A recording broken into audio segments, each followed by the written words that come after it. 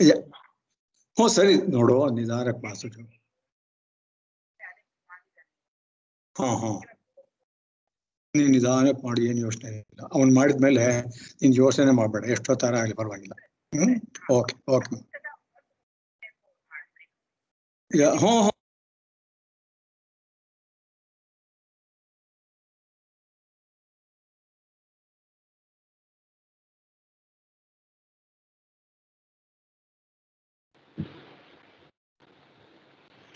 Uh, Shipra ma'am, I think uh, we can start our session. Yes, uh, yeah, yes, we can start it. Uh, Santosh sir will join uh, after some time. Uh, till then, we can start. Okay, then we can start. So when Santosh sir will join? He he will join after a few minutes. Actually, he's busy with some uh, meetings right now. Okay, okay, okay.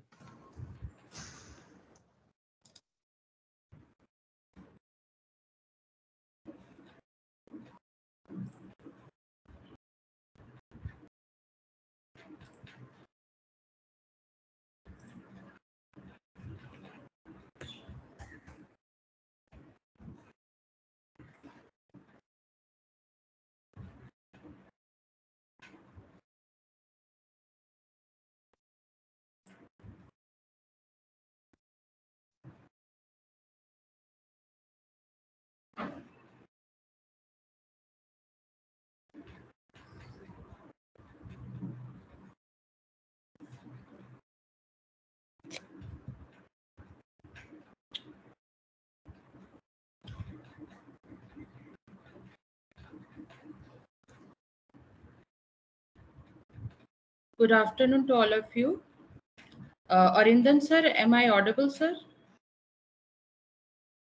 Uh, yes, ma'am, you are audible, but please wait. Yeah, Uh, yeah, our- yeah, I'm waiting. Yeah. Okay. Actually, I'm just Okay. testing whether my uh, mic is working. Yes, yes, Thank yes. you. You are completely, perfectly audible. Yes, thank you. sir.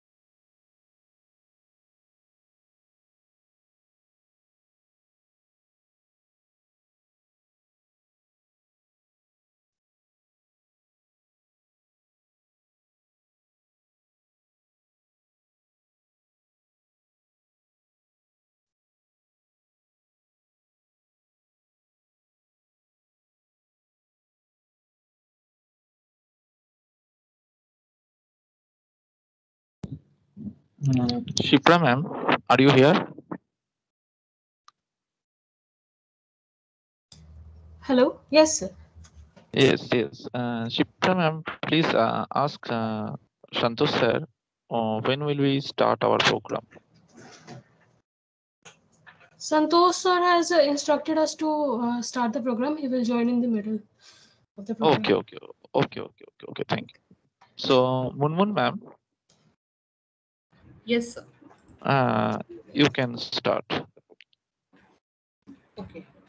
So here, the very good afternoon to all of you. And uh, today here is Munmun and my name is Munmun Sain, faculty from SAIARD. And today I'm the coordinator. And uh, uh, let's start today's session. And first of all, I would like to welcome all of you in our three days online capacity building program. And today is the third day and the final day, of course.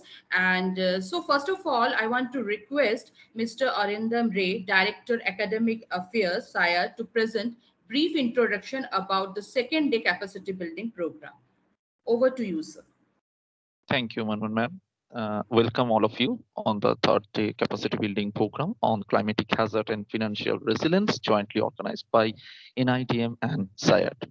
We are fortunate that yesterday Major General VK Naik sir joined with us. He gave special lecture on disaster mitigation, conceptual issues and practices. Sir focused on disaster management continuum, man mitigation measures. He expressed about the requirements for effective mitigation. He explained the how schools teacher, the student can also take part in this mitigation program by involving the common people also. He divides the mitigation activities into two parts, the structural and non-structural part. Apart, after that, our next speaker was Dr. Abhay Srivastava, the research scientist from NESAC. He delivered his lecture on lightning, now casting and risk reduction using the ground space data and technologies. He discussed the observation data, worldwide lightning distribution, and so on. The next speaker was Dr. Kasturi Mukherjee. She delivered her lecture over the journey of map. She emphasized over the impact of urban environment, giving importance over the urban land. She also expressed the thermal image and through thermal image, she expressed the temperature variation in different urban area. So the yesterday's session was really outstanding and enriched, and we are all hoping that today's session is also will be delighted one. So without wasting any time, we are looking forward to our today's session. Over to you, Munmun ma'am. Thank you, sir. Thank you so much, sir. And now we are at the point where we will we will be able to hear from uh, today's eminent speakers, and they are Dr. Iftikhar Ahmed, Dr. Abhishek Shaha, and Colonel Sanjay Srivastav. So, first of all, I would like to welcome our first eminent speaker, Dr. Iftikhar Ahmed. About him, I wanted to add he is an associate professor and previous program convener of the Master of Disaster Resilience and Sustainable Development, University of Newcastle, Australia. He teaches social and policy aspects of disaster risk reduction, resilience of the built environment, and sustainable uh, development. His research interests include post-disaster housing, disaster risk reduction, climate change adaptation, and urbanization in the Asia Pacific. He has written several books and many peer-reviewed publications and engages in various research and evaluation projects relating to disaster resilience. Dr. Ahmed serves as a consultant and technical advisor of, for a number of international development and humanitarian agencies and produced many evaluation and uh, project reports. He has studied and worked in several countries, including Australia, Bangladesh, Germany, India, Thailand, UK, and USA, and has extensive research and professional experience in many countries particularly in South and Southeast Asia. Dr. Ahmed completed his PhD from Oxford, Oxford Brookes University, UK, Master of Science from the Massachusetts Institute of Technology, USA, and Bachelor of Architecture from the Indian Institute of Technology, India. So uh, now over to you, Dr. Iftikhar Ahmed, sir. Good afternoon for you. Good evening for me. Thank you very much for your kind uh, and very um, detailed introduction, Madam uh, Munmun. So um, I think I will just start since uh, you've given an introduction. So let me, what I just wanted to talk about today is uh, focusing on uh, climate adaptive housing. And I know that the focus of this particular event is on climate financing. And so I won't directly talk so much about financing, but just what I wanted to add before I start off is that this particular presentation that I'm doing is drawn from a project proposal that we submitted to the Green Climate Fund. Now, many of you may know that the Green, Green Climate Fund is one of the major funding or the financing organizations to deal with climate change adaptation throughout the world, particularly in the global south countries. Um, so so I just want to say like, you know, this is the kind of thing one would have to do in order to gain financing to implement climate change adaptation pro projects. So let me see if I can share my screen. I'm not very familiar with uh, Microsoft Teams, so let me try it. Screen. Are you able to see my PowerPoint? Yes, this is visible, sir. Excellent. Great. So let me just start then. Yes, so like I mentioned, this this is about climate change adaptive housing in coastal Bangladesh, and I believe that most of you are from India, and you can relate very well to your neighboring country, Bangladesh, and uh, some of the conditions are very similar, particularly the coastal regions, and uh, both Bangladesh and uh, and part of West Bengal has suffer similar impacts of climate change. So so as I mentioned, this is drawn from a feasibility study for, uh, which was done for the United Nations Development Program, UNDP. And I certainly won't go through all these points. I just want to quickly, you know, give you an overview of what this is all about. And uh, so what I will do is go to the next one. And this is the coastal housing context. And uh, most of you from India, you are quite familiar with this kind of uh, this context, this kind of uh, situation basically here bangladesh has got a very long coastline over 700 kilometers and, and yes india has a much longer coastline but this particular coastline bangladesh is exposed uh, to cyclones particularly because it's a very low lying uh, region and also because of the shape of the bay of bengal which kind of draws in air from uh, the wider indian ocean and and this kind of contributes to kind of cyclonic impact that you have, and you, you're quite familiar with, with these kind of impacts. And, and but importantly, with cyclones, there's also a storm surge, sometimes exceeding nine meters. It's very high. It's almost like a tsunami, and that has massive impacts. And they have long-term impacts in many of the areas that had been affected by storm surges. This water actually inundated vast tracts of land and the water could not be drained out because it kind of breached the coastal embankments and and they in some places they stayed for years before the water and, and that you can imagine the kind of impact that can have on agriculture and and settlements so one interesting thing is that in bangladesh and perhaps also in india to to a large extent what has happened is in recent years the fatalities from cyclones they have been reduced just to give you some examples cyclone Bhola in 1970, more than um, half a million people perished. And then the recent cyclone Amphan last year was only 26 in Bangladesh. And I, I think, believe altogether with India, it's about 80. So it's, it's not huge. I mean, of course, it's tragic that these people still, you know, had, you know, faced the faced death at the end of, uh, at the hands of this event. But but you know, things like like these kind of shelters, and I haven't talked about, and there's not, not much scope, but these cyclone shelters scattered around the coastal area, they save people's lives together with uh, with an approach of an early warning system, uh, which comprises of the cyclone preparedness program, which is at the grassroots level, connected with the Central Meteorological Bureau. So that is how it functions.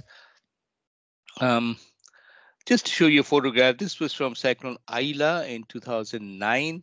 and you can see uh, the inundation and there you can see the coastal embankment on the top right and once that got breached the water got trapped inside and it was very hard to drain it out it needs a lot of resources to pump the water out and and and so people lost their uh, pisciculture as well as agriculture and, and settlements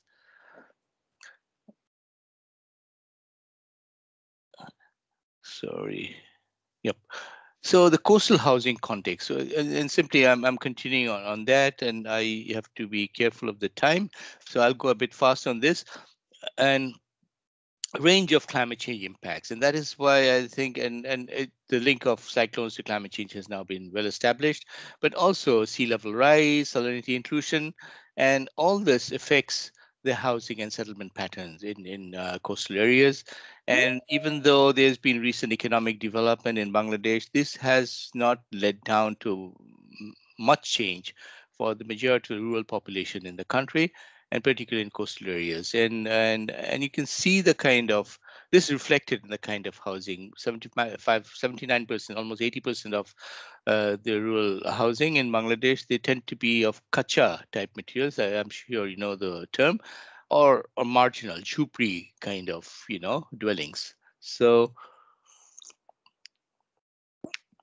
yeah and 90% of the housing they use non-resilient materials. Even if they use corrugated iron sheets it's just non-resilient can fly off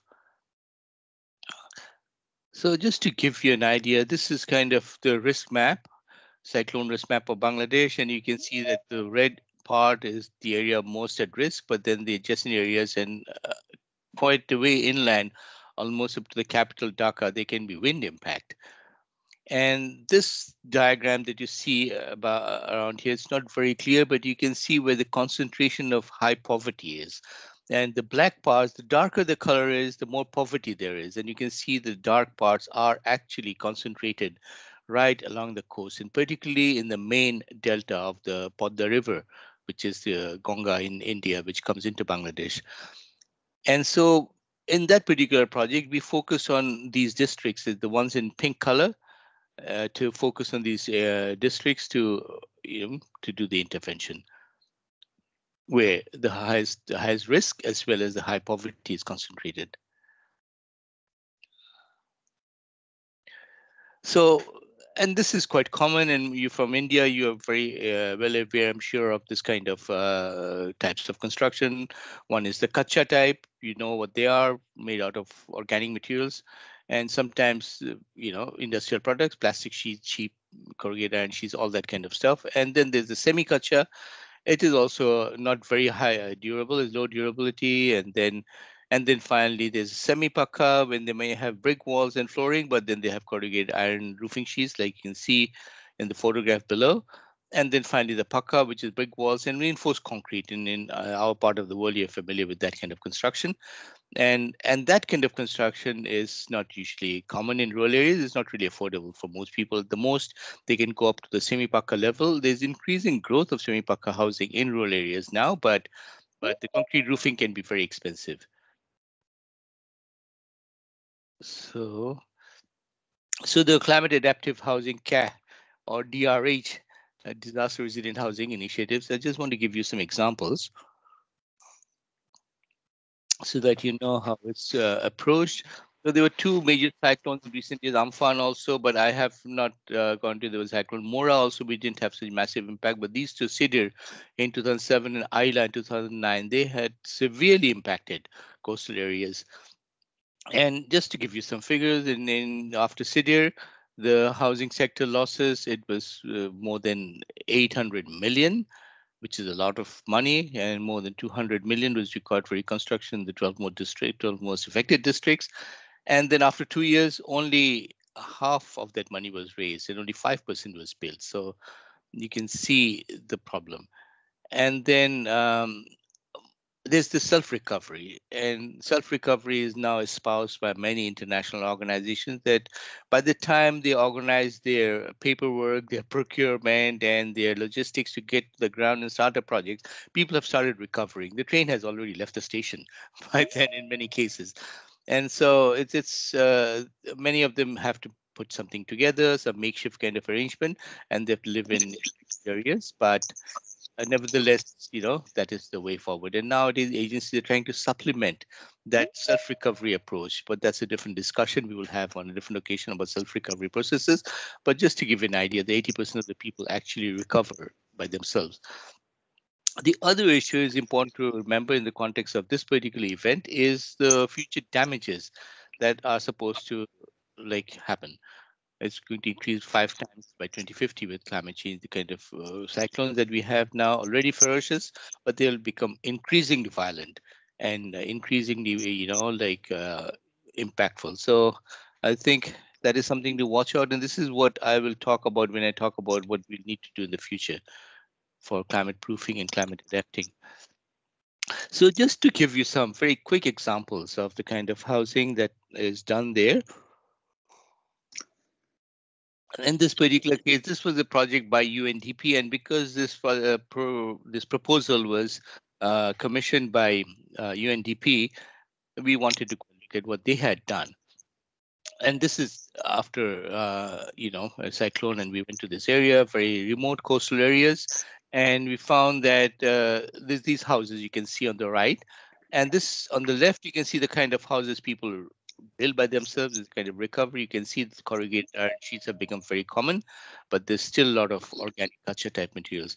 But you can see what they have done. They actually did some good things they built this access road made out of uh, brick soling.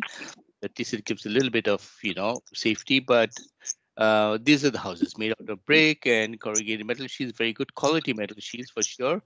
But then there was some all kinds of design problems. The roof eave was too uh, short and the water could enter between the gaps and they, they had the PVC gutters for collecting rainwater because in this particular part of the country, they have a very severe problem of salinity intrusion. So the water that they have, the subsoil water, is not really very drinkable. So the idea, like rainwater, was kind of um, uh, promoted in this, but it, they were not really really working. People were not using it. There, because of subsoil water, it was not great, but they still managed to do it somehow. People are resilient; they kind of adapt to things which can be quite difficult for many people. And then they had the steel roof uh, framing, which was durable, but you know, this kind of framing, they cannot build it anyway. No one else could do it this, because this was a UNDP funded project. They could manage to get some of these materials. So we have to be very careful what we do, but unless there's a long-term project that kind of supports housing on a wider scale, these would remain isolated examples. So I can go on. I, I won't talk again. There was the other issue is that people were still using asbestos. And as you know, that asbestos poses health issues. So show you another one. And this particular project isn't terribly bad. It's, it's, it's in some ways, it offers some good insights. What had happened was that, again, this was a settlement outside the coastal embankment. I remember I mentioned the coastal embankment at a certain point, but people, because of the population pressure on land, people actually settle outside the embankment, and they are absolutely vulnerable to a, a disaster and even the regular impacts of sea level rise and all that. So tidal surges. So that that's what it is. But in this particular project, they uh, they resettled those people who were outside the embankment and moved inland. And then, but you can see in this photograph that people, even though they were they relocated the original settlement, many people actually started building another new settlement outside the embankment. So mm, this continues. In any case, in this particular case, this had an integrated approach. It had fish ponds and you can see some of the fish ponds here together with a group of houses clustered around it. They had solar energy and the livelihood programs. And they also had a cyclone shelter, which worked as a school most of the time. And so they had some positive impacts because they, it built the resilience of those people. And these houses were pakka type houses. There was uh, prefab uh, concrete components. They were brought in from the capital, Dhaka. And so some of the issues again, short roof the water enters the gap, same as the previous project. And so again, uh, with these kind of, you know, similar to the other projects, it's not replicable in the local context because of the technology or the skills to do it. And so there's an extra cost of transporting the material, there's an embodied energy cost, and there's also you know, breakage and that kind of uh, problem happening. And main issue is that the community consultation or the participation was missing in this particular project. This was uh, conceived by the implementation implementing organization, which was actually the government project, uh, House, House Building Research Institute, together with the comprehensive disaster management program of the government and very small houses, but they could be core shelters because they were actually quite strongly built. And they said these were sort of uh, mini shelters, and people started making these extensions. You can see this house how it's been surrounded by all kinds of extensions. So be it, because if there's a cyclone, they can at least go into that core shelter, which is built to cyclone resistant standards, and it can save lives. Similar kinds of projects, I won't go through each and every project. Again, the, these were also pucca type houses. Increasingly, agencies are moving towards pucca type housing because they want to maintain their legacy. If they build something and if it doesn't last in the next disaster, then uh, they would be held accountable. So this is one reason that they do it. And but again, no community consultation, and so there was no community. So there are all kinds of issues, technical issues also. There was only a tie beam, no grade beam. So the, there's a grade beam above, uh, tie beam above, but below the ground there was no grade beam. So if there would be, uh, you know, another cyclone, then it might collapse on the base because of scouring and lateral stress. And also same thing, it's they're all very small houses, but they can be a core shelter. So, but again, the problem of asbestos, even in the previous one, this is widely prevalent even now in rural areas. There's still entrepreneurs who kind of market asbestos even though there's legislation against its use, but this can barely be enforced. This is another project, it's also a government project by the Prime Minister's office, and this is quite interesting because they actually built these pucca um, uh, uh, houses, and they were all like joined together. They had a sense of community, and and they had uh, and they built there were no kitchens inside which is fine they can build outdoor kitchens but again this would protect lives in case there is a disaster. So they had some good size, but there were problems. There was no beneficiary consultant consultation built by the army. And uh, also they had problems problems with privacy in rural areas. Houses are detached small units and they maintain a level of privacy with vegetation in between and all that, but they, that's it's just next to each other. So uh, you can hear the person next door. So I think it's a kind of shift to a somewhat urban mode of living we can discuss, you know, the pros and cons of that kind of trans transformation. And uh, the other problem with using concrete, and not that it is a bad material, because some kind of uh, like uh, um, uh, safety in a future cyclonic event. But the problem is if you don't build properly with it, it needs a lot of supervision and quality control. Otherwise, you may have dampness and water leakage, particularly in a hot, humid climate like this. So that has to be ensured.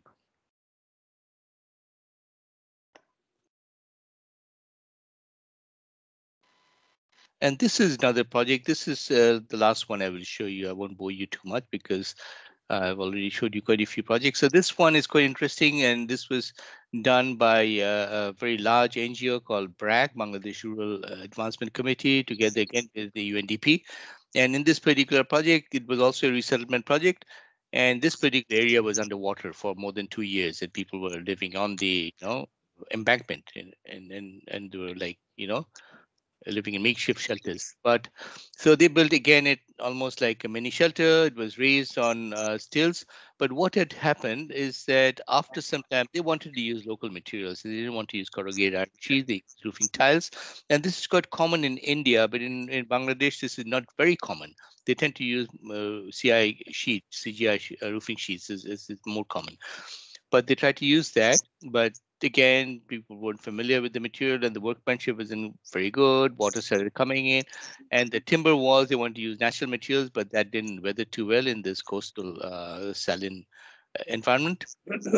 so over time, people, uh, they, they requested UNDP to replace those. And so what they did was replace them with brick walls and corrugated iron sheets.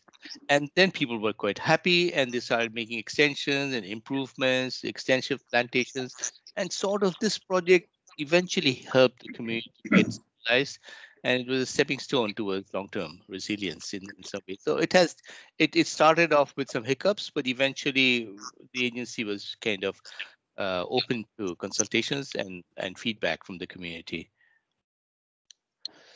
So this was just to give you an overview of the kind of project. So eventually, in this particular project, we had to propose a framework for climate adaptive housing for coastal areas. And in this case,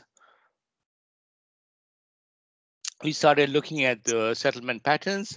And then you can see this is how they do it. They would uh, dig a pond and use the soil to raise land above the water level. And you can see and then planted extensive in the site to hold the soil and and use use the trees and vegetation for livelihoods and you know homestead consumption. So this is a typical pattern, and you, you might be able to see that in parts of West Bengal and the deltaic region. So in this particular case, there was a, we kind of looked at design criteria, the house size, layout, etc., the kind of uh, issues that all uh, designers would consider when they build a house, and then follow some minimum standards. So there was a shelter working group. They had uh, developed certain standards for core shelters, and those uh, those were supposed to be followed in in the design guideline and in the construction technology. Here, we decided to use break and uh, reinforced concrete construction because that in the future we can anticipate the cyclones to become more ferocious and we would need to have some kind of structure that can withstand the kind of ferocity. People are not going to move away from the coastal area they're going to inhabit and perhaps you know increase in population. So we would have to think about something which can give them some sort of security.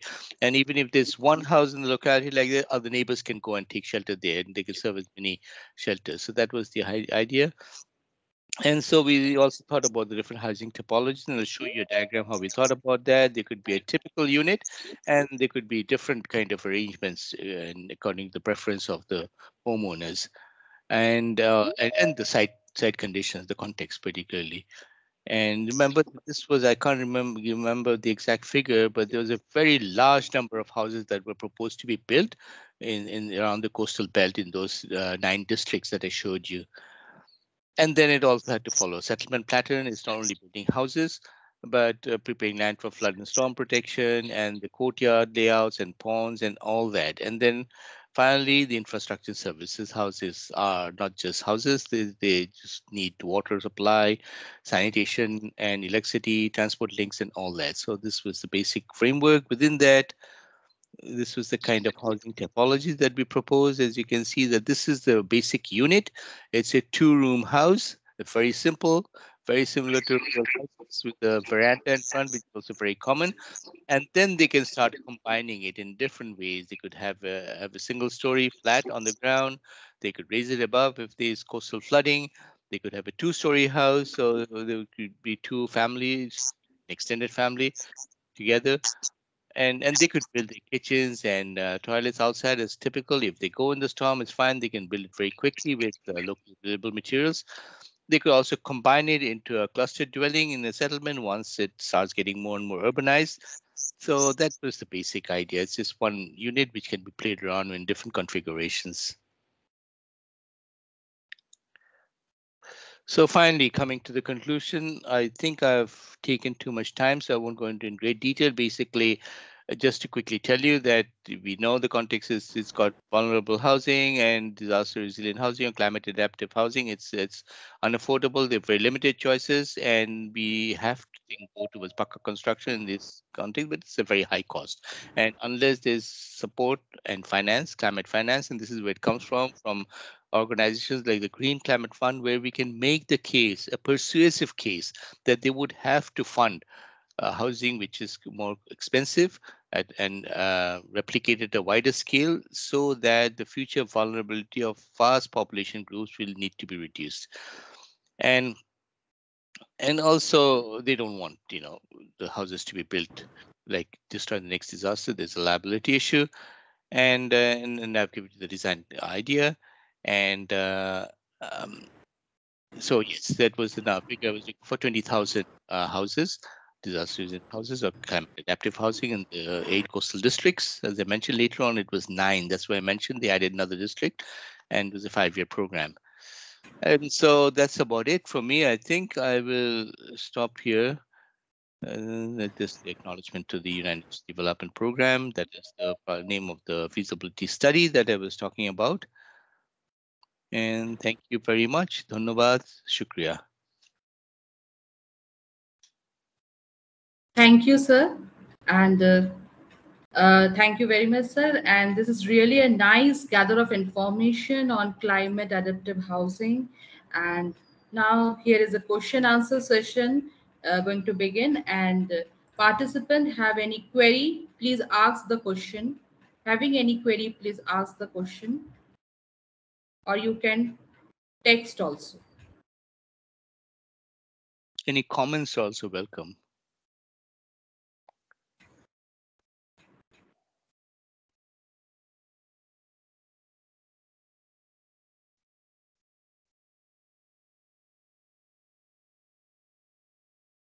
Participants have any query, please ask here. Yeah, thank Uh, uh, uh, Sir, uh, Iftikhar sir, uh, you, uh, you can stop presenting, sir. Like by just clicking on the tray, so clicking on the sorry. means there may be the option of stop presenting. So by doing that, it will be like little. Stop sharing. Okay. Yeah, I think that's better. Thank you, sir. Yes, the participant over to you. If uh, any query, please text us or you can ask the question also.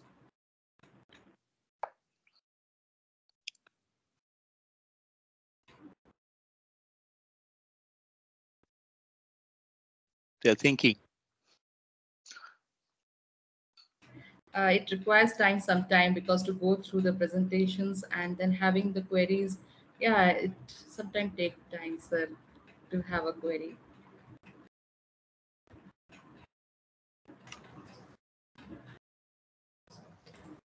I think they can uh, ask the questions uh, later after the all the sessions together. Yeah, that's also good. I, Okay. I am afraid I may not be able to stay that long. It's already Okay, sir. Okay. to nine here in the evening. I I can come back if you give me a time or uh, Q and A at the end. You're all welcome, sir. Whenever you want to join after your free uh, uh, other work. Uh, so you will be finishing at four thirty. Yes, sir. Okay, so maybe I'll join you at maybe four fifteen, something like that. Right, sir. Right. Yeah, I can do that. In the meantime, I'll, I'll catch up on certain things and then uh, I'll listen to the next speaker anyway. So, and then, then I'll just slowly bail out at a. yeah. And look, you know, participants, please don't be shy. If you have questions, you can contact me. I, I'm happy to share my uh, contact details. You can find me very easily. Look for Ifti Ahmed, University of Newcastle. You'll find me on the internet and we can communicate. You know, decide if you feel reluctant to pose a question. But I hope this presentation uh, kind of resonated with your experiences in, in your. Yes, sir. Yes. Thank you. Okay. Thank you, sir. Now, our next speaker is Dr. Abhishek Shaha. He will give special lecture on climatic and eco-toxicological threats on estuaries and their probable mitigation plan. Uh, Dr. Abhishek Shaha is currently working as an assistant professor and head of the department, uh, Department of Geography, Chhatra Ramai Pandit Mahavidyalaya, Bankura University since July 28, 2022 till date. He is also chaired as course coordinator of distance learning program organized by Indian Institute of Remote Sensing is ISRO Nodal Center. Dr. Shaha has six years expertise uh, pertaining to the field of oceanol- oceanography, wetland ecology, estuarine ecosystem, environmental uh, toxicology, and application of geospatial technology and statistical techniques. He has done his PhD in oceanography. He has published more than 20 publications in various peer-reviewed, UGC-approved, and UGC care journals, and four book chapters with ISBN indexed. He has also authored two books on environmental studies for undergraduate level. He has attended several national and international seminars on different environmental and oceanographic uh, issues. He also acted as nodal officer of different program initiated by Higher Education Department, uh, Government of West Bengal from 2021 to till date and appointed as board observer of West Bengal Joint Entrance Examination Board in 20, uh, 2021. He has appointed as uh, undergraduate examiner both honors uh, program of Bankura University from 2020 till date. He has been awarded as UGC Junior Research Fellow in Geography on 2014 and awarded Research Scientist in 2019, International Scientist Award, Vishakhapatnam by Professional Association, VD Good Professional Association. So here we have uh, Dr. Shah along with us. Over to you, sir. Uh, good afternoon to all. And uh, first of all, uh, Major General Manoj Kumar Bindal, sir, Honorable Executive uh, Director, NIDM, Ministry of Home Affairs, Government of India, and uh, supervising patron of this uh, three days online training program, Dr. Biswajit Rai Chaudhary, Honorable Chairman, South Asian Institute of Advanced Research and Development, and uh, supervising uh, patron of this three days online uh, training course, Professor Santosh Kumar, Professor and Head Governance, Inclusive Disaster Risk Reduction NIDM, Ministry of Home Affairs, Government of India, and convener of this uh, three-day uh, online training course, Dr. S. Dayal, Faculty and Director, Center for Disaster Management and Planning, SAIARD, and also convener of this uh, three days online training course. Program coordinators, uh, Mr. Arindam Roy, Director, Academic Affairs, uh, SAIARD, Ms. Antara Kundu, Project Executive SAIARD, Ms. Uh, Sipra Das, Project Executive uh, NIDM, Ms. Uh, Mrs. Uh, Munmun Bormon, Faculty, Geoinformatics Division SAIARD, uh, esteemed participants, and uh, of, uh, of this online training program uh, present in this virtual platform from these different parts of the country. Ladies and gentlemen, colleagues and friends, it is my proud privilege to be present here in this virtual platform before a galaxy of uh, dignitary part- participants, personalities, eminent uh, teachers, uh, different parts of the country for three days online training program titled Climatic Hazards and Financial Resilience, a special focus on lightning, jointly organized by uh, National Institute of Disaster Management, Ministry of Home Affairs, Government of India, and Center for Disaster Management of and Planning, SAIARD. Today I am uh, I will give my talk uh, intend to give my talk uh, climatic and ecotoxicological threats on estuaries and their uh, probable mitigation plan, special reference to the northeast coast of India. So uh, now I uh, intend to share my PPT. Is it visible? Is it visible? No, sir. Not now.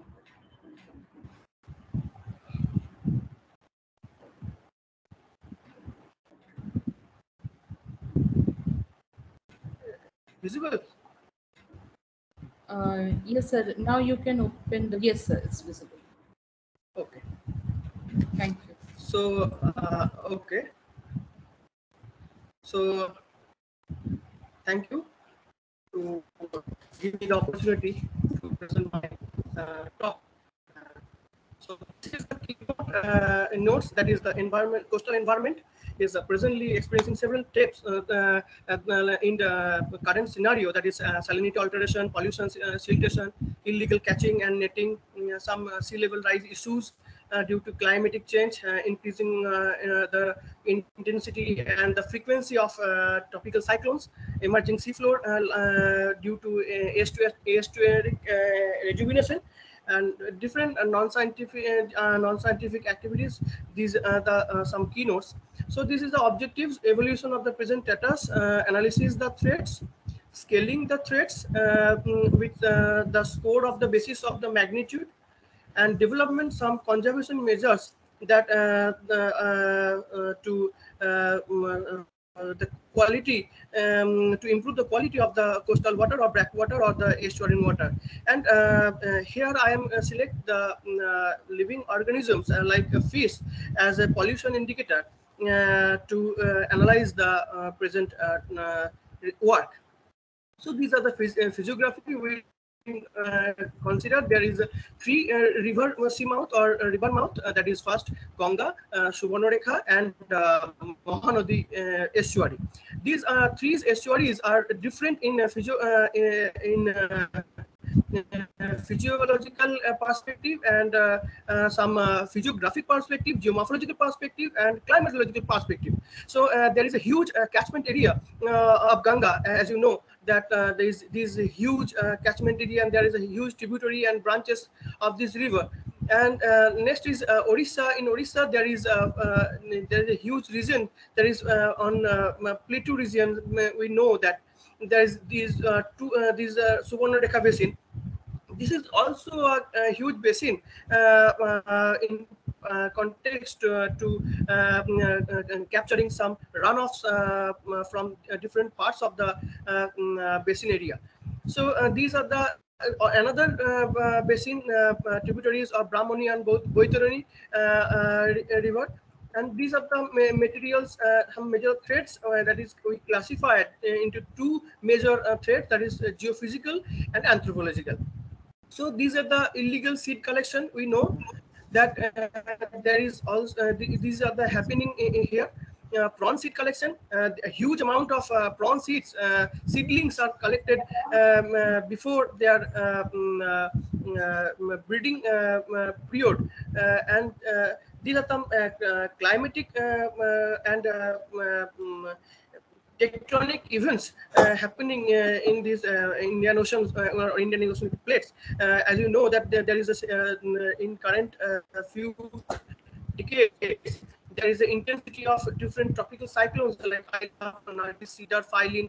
There's all the, all of this happening here, and also 2004 uh, four, there is a massive tsunami hits uh, uh, in this part of the um, estuary these are the one of the most alarming uh, uh, uh, threats that is global warming and plate tectonic and there is a up, upliftment and submergence of uh, seafloor. And due to the huge of huge coastal part or seamount or the mm, uh, mm, uh, shallow what uh, shallow land mass uh, uplift uplift and uh, due to this upliftment uh, during cyclonic storm huge oceanic surges are happening there and therefore huge saline water intruded in the inner part of the freshwater body and um, affect very much these are the major uh, threats that is uh, mangrove deforestation. A huge amount of uh, uh, amount and huge intensity of cutting of the mangrove tree. As you know that the mangrove is a huge in creating a huge impact on the mm, on the mm, protecting uh, field of uh, uh, land erosion soil or some salinity increase or some sedimentation uh, these are these uh, so these are the next uh, as I, I already told that this is sedimentation and siltation is a, uh part uh, taking place. Huge amount of uh, siltation are uh, uh, um, happening there. And these are the some uh, graphical and satellite imageries uh, this is unscientific brick lanes. As we know, in far distance, that there is a huge, uh, uh, uh, different uh, uh, brick lanes are there, and, and these brick lanes are uh, much more affected. And uh, as you know, in front of uh, our screen, the, these are the mangroves, and um, these mangroves are very sensitive to the environment and uh, uh, uh, and much more influenced by this. Uh, uh. There is a huge um, uh, brick wall that is uh, breaking uh, through, breakthrough, and some saline water intruded in the inner part of the uh, land. So uh, some uh, statistical figures are there. Uh, these are the some, uh, uh, some fish species. I already told that the fish species are uh, here is pollution indicators and some major species are there and there is a fish landing station FLC a different mm, Balasore district and this is the um, Shannon Species Diversity Index which is very widely known species diversity index which is much more affected by this uh, uh, yeah, uh, uh, threats. And this is the results of the statistical analysis and that, that is the 2016 2017 data that is we have collected during uh, the survey. Mm, and uh, these are the, some threat uh, techniques. And here we know that there is uh, prawn seed collections uh, mm, irregular fishings uh, siltation sedimentation and natural calamities are creating a havoc uh, in, uh, mm, uh, uh, impact on the uh, uh, physiographic uh, divisions. So let uh, uh, uh, came to the discussion. Uh, this is a grand challenges of our uh, climatic uh, science uh, and uh, civil engineering in the coming decades. That is prediction of the sea level uh, and the development of adaptation approaches. So climatic change and coastal resources are the main uh, mm, uh, aspects uh, that is that, that in uh, current uh, current uh, the whole central state government majorly focus on the blue economy and the blue economy is the current uh, uh, mm, uh, current aspects uh, of new researchers and uh, uh, and creating a hu- huge resource uh, for our country and uh, um, uh, that is, uh, these are the uh, research uh, uh, that is threatening by climate change. That is higher sea level higher sea temperature el nino that is um, enso uh, enso and la nina changes of precipitation patterns um, changing of storm tracks etc so uh, these are the uh, coastal climatic change drivers that is mean sea, sea level, uh, primary uh, level uh, ocean current, wind uh, climate, rainfall, and the secondary is local sea level, local current, local waves, and groundwater. Some climatic changing factors that is some extreme event hazards or some non-regional mean sea level hazards. So these are the uh, time frame, and uh, in time frame, this is uh, this is the uh, mm, uh, event, and there is a cause and there is a uh, predictability in this sense. As, you all know, there is a huge um, impact on ENSO and mm, creating a, uh disturbance throughout the whole world climatic systems potential impact of the climatic change, as you know, that is um, coastal erosions, uh, mm, beach uh, rotations, uh, infrastructure damage, uh, algae or algal bloom, harmful algal bloom, uh, wetland productions, uh, sediment nutrients. So climatic change in global context uh, that is uh, uh, estimated due to 1860 to 2000 uh, and uh, 2000 to 2000 uh, um, to, uh, 2100 and there is a international policy for climatic change report we have gathered. That is in us in 2050 that is um, huge uh, uh, climatic uh, change or sea level rise due to oceanic temp, temperature or temperature global temperature rise.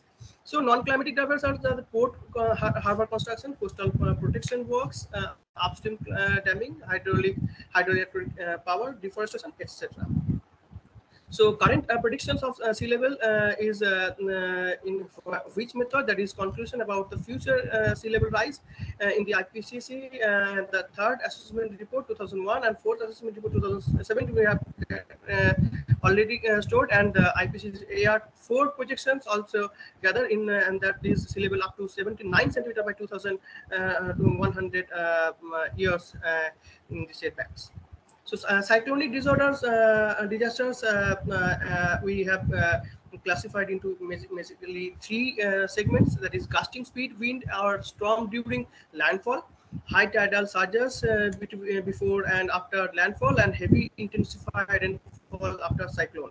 These are the uh, three uh, aspects that is huge, um, creating huge damage during cyclonic landfall. So major and medium multi-purpose river dam projects, which uh, already uh, we uh, taken it up to consideration, that is catchment area, uh, Mahanadi.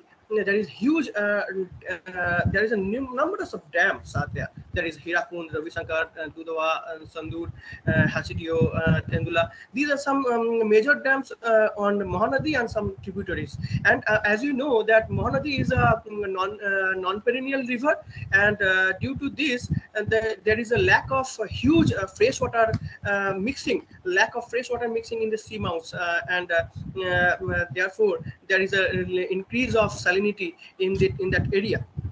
So that is uh, another Suvarnarekha basin. These are the uh, major uh, dams or projects uh, uh, there. There is a 12 projects uh, on the uh, Suvarnarekha, and it is- also a non-perennial river, and this is much more effect on the coastal water mixing um, or uh, river mouth mixing. And uh, uh, also we know that um, the Mahanadi estuary, uh, basin is uh, uh, um, uh, famously known as uh, industrial uh, uh, industrial area, or and uh, um, uh, as well as uh, mining area and the huge uh, industrial wastage, uh, sewages and uh, mining sewages are mixing into water and some heavy metals are mixing also are there. So uh, these are the facts factors uh, uh, and these are the potential impact. Some bio, uh, uh, physical impact, displacement of coastal lowlands, increased coastal erosions, increased flooding, salin- uh, salinizations, groundwater, socioeconomic uh, categories uh, under loss of property, increased flood risk, damage of coastal infrastructure, loss of renewable uh, resources, loss of tourism, coastal uh, habitats, uh, so on. So uh, second impacts uh, accelerated uh, sea level rise that is impact of uh, livelihood, decline health, uh, threat to housing uh, quality and that already told our previous speaker.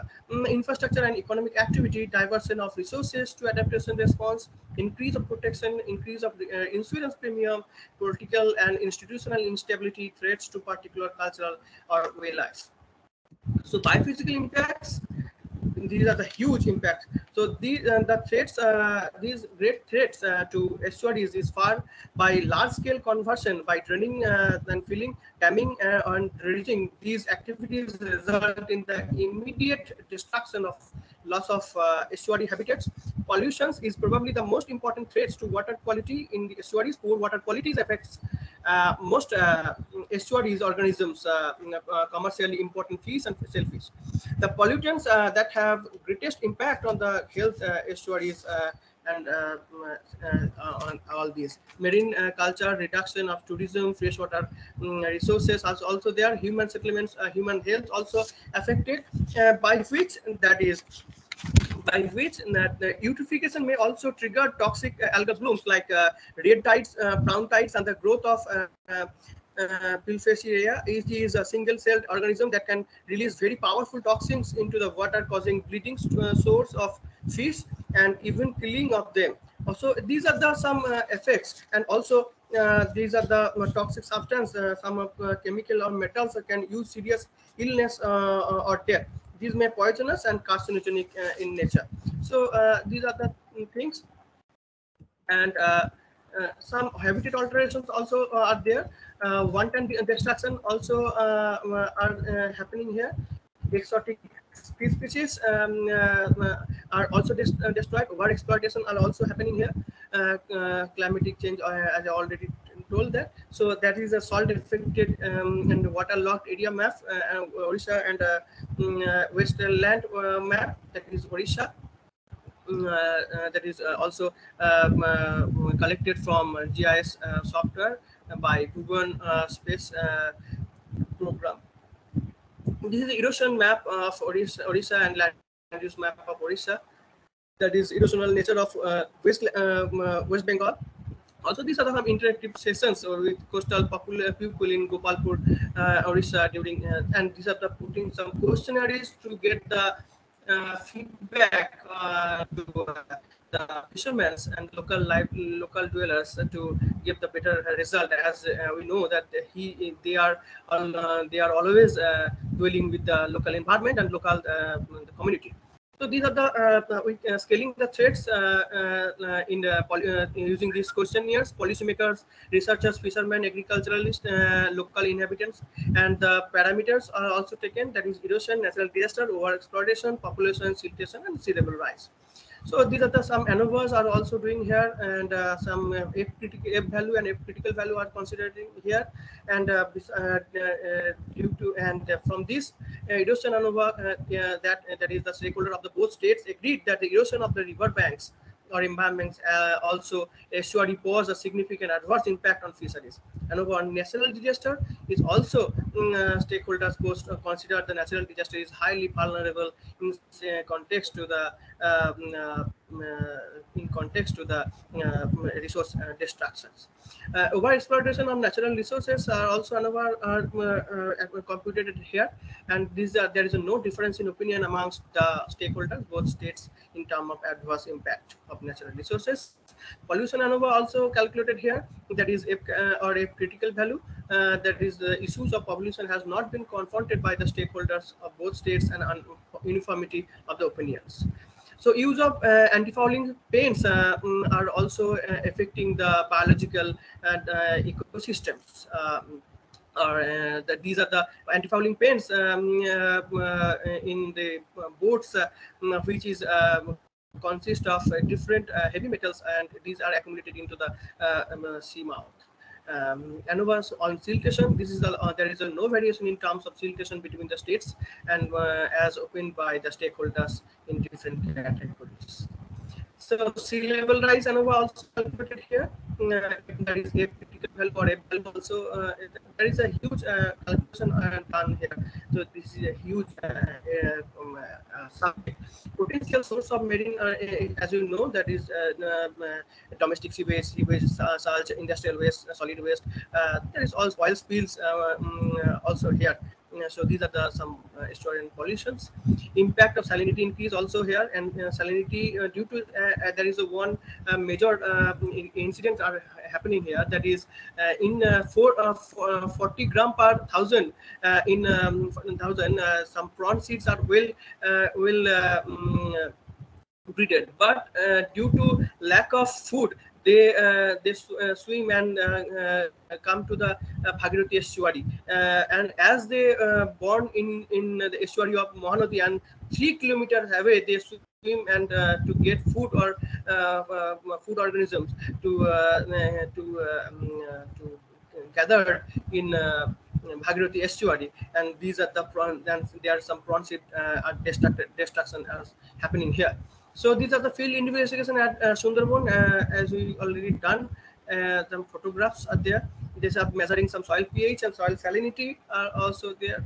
Mm, uh, conservation measure. These are the major uh, uh, uh, um, things are that is brood stock management and artificial breeding also be taken for um, some fish to production of fish to overcome this problem larva rearing tank and ones uh, may be uh, created uh, in generated income uh, through uh, demonstrating or training should be to provide technical support uh, to the private uh, hatchery owners to be also be um, implemented. For conservation purpose artificial production uh, techniques are also applied to establish an endangered species breeding program. The main two components of the program is la- a larval gene bank and the um, gamete or embryo bank so mangrove plantation also much more needed uh, planfully in this zone, uh, that is low tidal and high tide zone. Strictly prohibition of uh, plastic and microplastics and that and oil spills. Are so uh, hazardous uh, to the mm, uh, uh, living uh, organisms of uh, this area.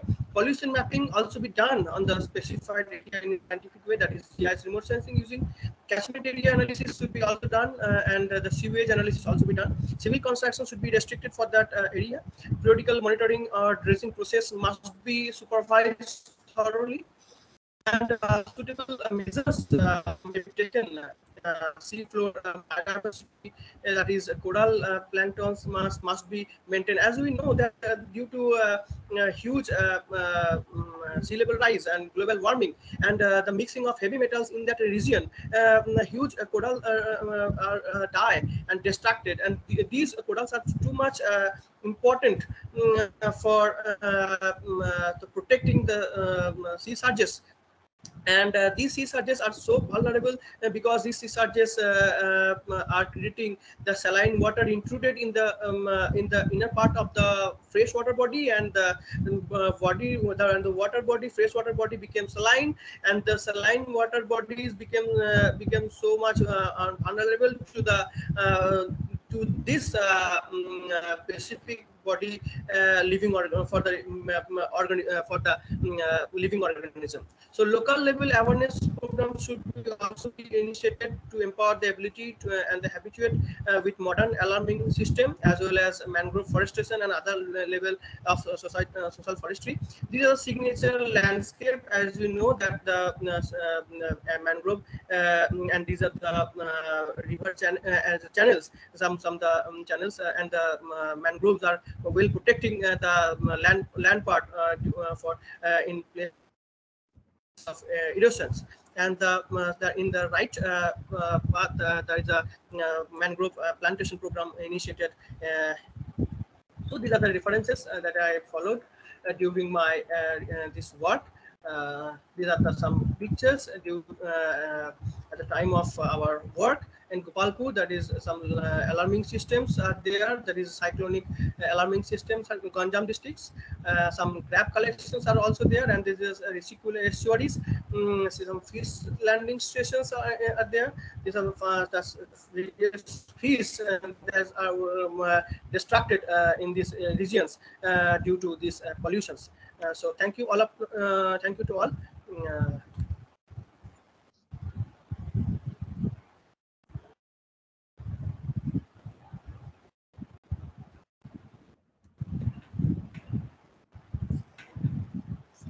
Thank you, sir.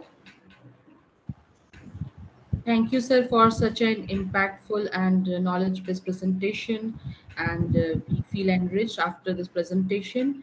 So uh, the question and answer session we will take at the end as we, uh, as our ma'am said that. Okay, so the our next, let's move to the, uh, move on to the next presentation. And that will be from uh, Colonel Sanjay Srivastava. And uh, let me tell you first that he is a professional with 32 years of experience involved in extreme climate change and disaster risk management as a practitioner in advisory, research, and teaching role. He is also a convener of Lightning Resilient India campaign and working with India Meteorological Department, Ministry of Earth Science and ISRO, uh, NRSC, various state uh, governments and uh, Uh, agencies in the technical intervention to adapt climate change issues in governance, especially in agriculture, education, and health sector, and focus on comprehensive disaster, environment, and climate risk management driving for the last one decade. Prior to this, he has uh, had a good exposure of corporate world in media and corporate sector. He is an ex-colonel from Indian Army and has served in various strategic positions in government, corporate at various levels with proven leadership skills. He is involved with the states in developmental uh, initiatives with emphasis on climate change adaptation to include policy advocacy, prevention, mitigation, response, rehabilitations, and recovery network, project management, planning and implementation of work plan, budget, financial management, coordination with various stakeholders, process evaluation, monitoring, delivery, mobilizations of goods and services, capturing lessons and time-bound accomplishments of desired goal by setting up priorities. Uh, priorities. So this will be a privilege to hear from you, sir. So here uh, for you, uh, sir, Sanjay, sir. Thank you so much uh, for giving me this opportunity. I have a presentation.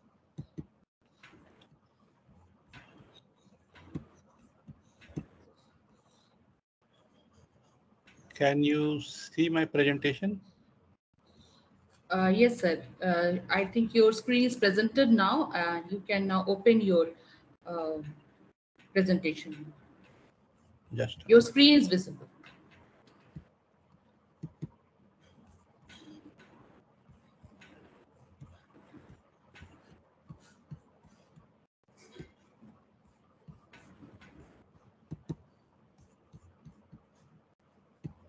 Can you see it? Yes. Yes, we can. see.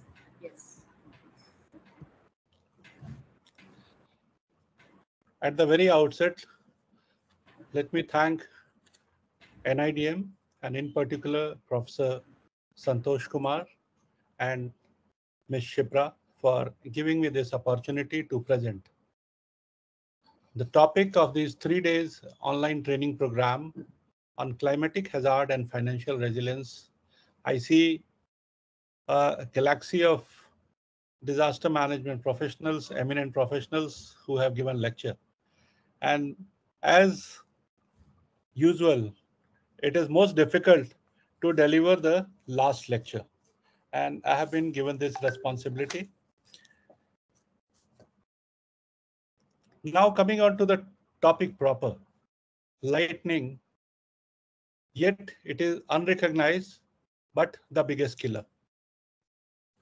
The entire data here, what we have taken is from Ministry of Earth Science Institutions, Indian Institute of Tropical Meteorology, India Meteorological Department, Indian Space Research Organization, NRSC, Global Lightning Data Network, And death records have been compiled from NCRB, NDMA, states, media reports, and the volunteer network of CROPC, which is more than 16 lakh. Coming to the news of lightning, always we see this is 7th June, West Bengal, 32 people killed in lightning. This is Amer Fort, 11 July, 16 dead in lightning strike at Amer Fort in Rajasthan. Indonesian refinery on 21st March exploded by lightning strike. In India, we had Banaskantha refinery in Gujarat and Mangalore refinery hit by lightning. And painful news of 18 elephants deaths in Assam. And so was it in Bengal also. Coming on to the topic proper, we all know lightning is the biggest killer natural hazard. It's a complex phenomena and we have the solutions also. We have the early warning, we have the do's and don'ts, we have the lightning protection device. It affects rural and urban both, but we have large number of regular deaths despite all our efforts. If you see on lightning, we have deaths, but do we know the hotspots? Do we know the seasonality? Do we understand the risk? Lightning is such a phenomena which happens within flash of seconds. What are its inherent characteristics? Its impact and how to save life being an assets. Early warning we have, but how to disseminate to the people who are vulnerable, people who matter, the farmers, the cattle grazers, the jungle hunters, the fishermen, vulnerable and exposure, the basic definition of disaster, how much we relate it to the ground, do's and don'ts, how much we educate our people, lightning protection, I would like to apprise 98% deficiency in the lightning protection. Research and development, where are we? So these are the hounding questions. Lightning, as we all know, is a global phenomena. It has been there since times immemorial. As the Earth evolved, it's there. Even in the Jupiter, you see the biggest storm and lightning. So it's a global phenomena, universal phenomena. At any time, 2 million lightning strikes always keep taking place. And the basic requirement is heat, moisture, that is cloud, and convection. The reason for lightning, global warming, heat, deforestation, depletion, enough have been dwelt upon. Deaths now, it's 24,000 plus per, per year. And our aim, we try to reduce the way, death as far as India is concerned, we are into tropical zone, which is a lightning prone area. And if you see the climate change vulnerability index, we have been graded in extreme risk to high risk area. The geographical features play a very important role. Our almost 7,800 kilometer plus coastal area, they are regular 20, all 12 months vulnerable to lightning we have the hilly area, we have the Himalayan foothills, we have the desert. All these are affected by lightning strikes. The river basins, the vast meadows, the agriculture field, they all present vulnerable areas for congenial lightning strikes. Before we move further, I would like to go, come on the basic fundamental theory on lightning whenever there is a hot area and the moisture comes, that is a cloud comes, there is always a evaporation. It is something akin to when you put hot water on a when you put water on a hot tawa, there is evaporation. Similar is the case with the earth. As the hot earth meets with the cloud, there is convection. As it goes up, if it is powerful enough, they reach 10 to 11 kilometers height they get converted into ice droplets. In our technical language, we call them groplins. When they collide with each other, there is charge which is developed. On the upper side is positive charge, negative si- charge is on the lower side. Since Earth is positively charged, as they get the conductive medium, they travel down towards Earth and they strike the ground. So you have one lightning in the cloud. This we call intercloud or intra-cloud lightning. And the strike which strikes the ground, we call cloud to ground lightning. So two types of lightning, intercloud, IC, or cloud to ground, that is CG. As far as the lightning is concerned, it's mostly cloud to cloud or cloud to ground lightning. In India, due to geographical features, we divide lightning in hill areas have different lightning developments. River basins have different pattern. In river basins, you will find strike may not be very powerful, but the fatalities are very high due to the large open areas. In coastal areas, there are lightning whenever there is a rain or instability. Urban oblique semi-urban areas also lightning strikes are there, but deaths are less there. However, the electrical losses are phenomenal. As far as the impacts are concerned, you get injury, you get failure of electrical components, you get physical damage, which results in loss of human life, loss of service to the public, loss of cultural heritage, as we saw in the Chittorgarh fort and the Amer fort, and the economic losses, as we saw in the refinery. Coming on to the human beings, please watch this slide very, very carefully.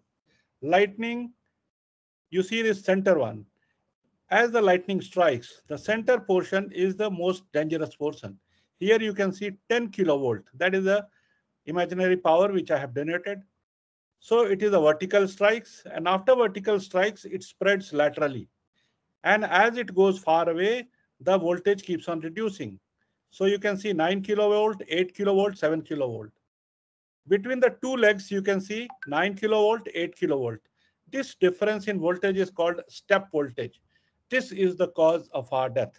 If the step voltage is high, we die. That is why you will see animals getting lightning bolts and they jump and then they fall on ground. This is due to the step voltage. As far as the impact is concerned, the first impact is the shock. The current flows through a human body. It sucks your blood, causes a respiratory problem, ventricular fibrillation, and cardiac fibrillation, muscular contraction, and burn. In lightning injuries, accident can happen through direct or indirect strike both. Over 50% of lightning injuries developed in countries is caused by step voltage. So coming on again to the topic, financial impact, injury to death to or death to injury or death to human or to animal, electrical losses, industrial losses, damage to assets. As far as the lightning scenario is concerned, I showed you, you basically need heat and cloud, which develops into a cumulonimbus cloud. There is always a light wind. Whenever there is thunderstorm, hailstorm, squall, there is lightning. Heavy rain also comes along with lightning. The cloudburst, tornadoes, hurricane, they come with lightning. Cyclones also come with lightning. And there is a scenario when there is dry lightning. You will find even in the daylight, scorchy heat, there is lightning. In fact, electrical neutralization is a global phenomena. And every day at 1930 GMT, this electrical neutralization between the sky and the earth takes place. This is more prominent in the equatorial region. This is a very important slide. You must know the what all contains a lightning strike. So as, as I said, heat plus moisture. Then electric charge develops. Then you have intercloud flashes. Then you have cloud to ground flashes. In the in this, once the lightning strike travels rounds, there is sound which develops. This sound develops when the friction is there in the cloud and when the lightning travels down. This is low VHF 1 to 30 megahertz. Energy 250 kilojoules, current 30 to 180 kiloampere. But I must apprise this is sharply increasing. And on 28 September at Sundargarh Sundarnagar in Gujarat, there was lightning strike of 314 kilo ampere. Baroda had 302 kilo ampere of lightning strike. Why I am telling you current? Because your lightning protection system is designed on this. And the global maximum protection standard is 200 kilo ampere. And the Indian lightning protection testing capability is only 40 kilo ampere. So whatever India made lightning protection device you are buying, you are just buying for 40 kilo ampere. And average is this. And temperature is 50,000 degrees centigrade. So even it is, it can be five times the sun. Lightning in India. So we have launched a Lightning Resilient India campaign, or for common people, we come with only three points. Lightning early warning. We have an app called Damini. Dr. Gopal Krishnan would have covered in detail. Lightning do's and don'ts, lightning protection system. Lightning Resilient India campaign, our aim was to reduce 80% deaths in three years. In two years' time, we have reduced more than 60% deaths. And you will be happy to know that lightning is no more the biggest killer this year. Flood has overtaken lightning. As far as pillars who are concerned, our patrons in the governing council member, we have senior bureaucrats and scientists from IMD, from ISRO, and other organizations. We are grateful to these organizations. On the right, you can see who are our partners. Our approach is two-pronged approach. First is stop death immediately by aggressive actions. And second is long-term climate change up adaptation for environmental upgradation. Early warning, creating a network of volunteers, develop local lightning safety action plan, lightning risk assessment, scientific research and development, designation of lightning hotspots, education awareness. These are our crux areas. As far as the lightning deaths in India is concerned, since 1967 to 2020, we have the data and more than 1 lakh 2,000 people have died. And if you see the percentage wise, lightning deaths are 33% as compared to the other disasters. Next is flood, which is 14%. If you see the comparison between 19 and 20, we have marginally reduced the lightning deaths this year, but we have three states which generally top. That is Bihar, Uttar Pradesh, Madhya Pradesh. Even in 1920, we have Uttar Pradesh, Madhya Pradesh, Bihar. And during 2021, we have again Madhya Pradesh, Uttar Pradesh, and Bihar. These are the lightning deaths over the last 10 years. This is the state-wise trend of lightning for the last 20 years. If you take the average, it is Madhya Pradesh which tops with 315 average deaths per year, followed by Maharashtra, followed by Odisha, Uttar Pradesh, West Bengal, Chhattisgarh, Bihar, Jharkhand, and Karnataka. I would like to do a case analysis. What happens when a lightning deaths, lightning event happens? In Bengal, in two days, 32 people were killed on 7 June. As usual, IMD came out with a lightning forecast three days in advance. That is on 4th, 5th June. These were the models which are available. And this is the action which was supposed to be taken by SDMA or the disaster management department. Sixth night, 10 o'clock, a letter is issued by the disaster management department mentioning urgent measures regarding heavy rainfall 10th to 14 June and preparations for monsoon. In this letter, there is only one passing reference on lightning. It is requested to take urgent measures for preparation of monsoon and create awareness about steps to be taken during floods and the thunderstorms oblique lightning. This is what the state government does. This is the list of deaths. And this is what the strikes happen. And if you see Bengal, there has been significant rise in lightning. There has been 100% rise in lightning and the state government and the community both are supposed to take cognizance of this. This I'm just giving an example. It is not only case of Bengal. It is a case of most of the states in India other than Odisha, Andhra Pradesh and northeastern states, of course. These were the strikes which we measure. We have the minimum current, maximum current. We have two types of lightning detection system, IMD, IITM network. This is the ISRO network. This all comparison we do. And in our research, we have found that West Bengal is the lightning hot rod, hot rod zone of India. This is the lightning trend in West Bengal, and so is it is in other states of India. We work in West Bengal, in entire India, and we have come out with a affordable model of model of lightning conductor. You can see a cycle rim, metal rim, and you can see a bamboo. There is a 14 millimeter thick wire which is coming down and it has been earthed through locally. So this is properly as per principle of physics and we work in the Sundarban area, various parts of West Bengal. Yet there is a very important need that efforts from the government and community also should be done. In lightning, most important is seasonality of lightning and its awareness. As far as the lightning is concerned, we have mapped the lightning in India.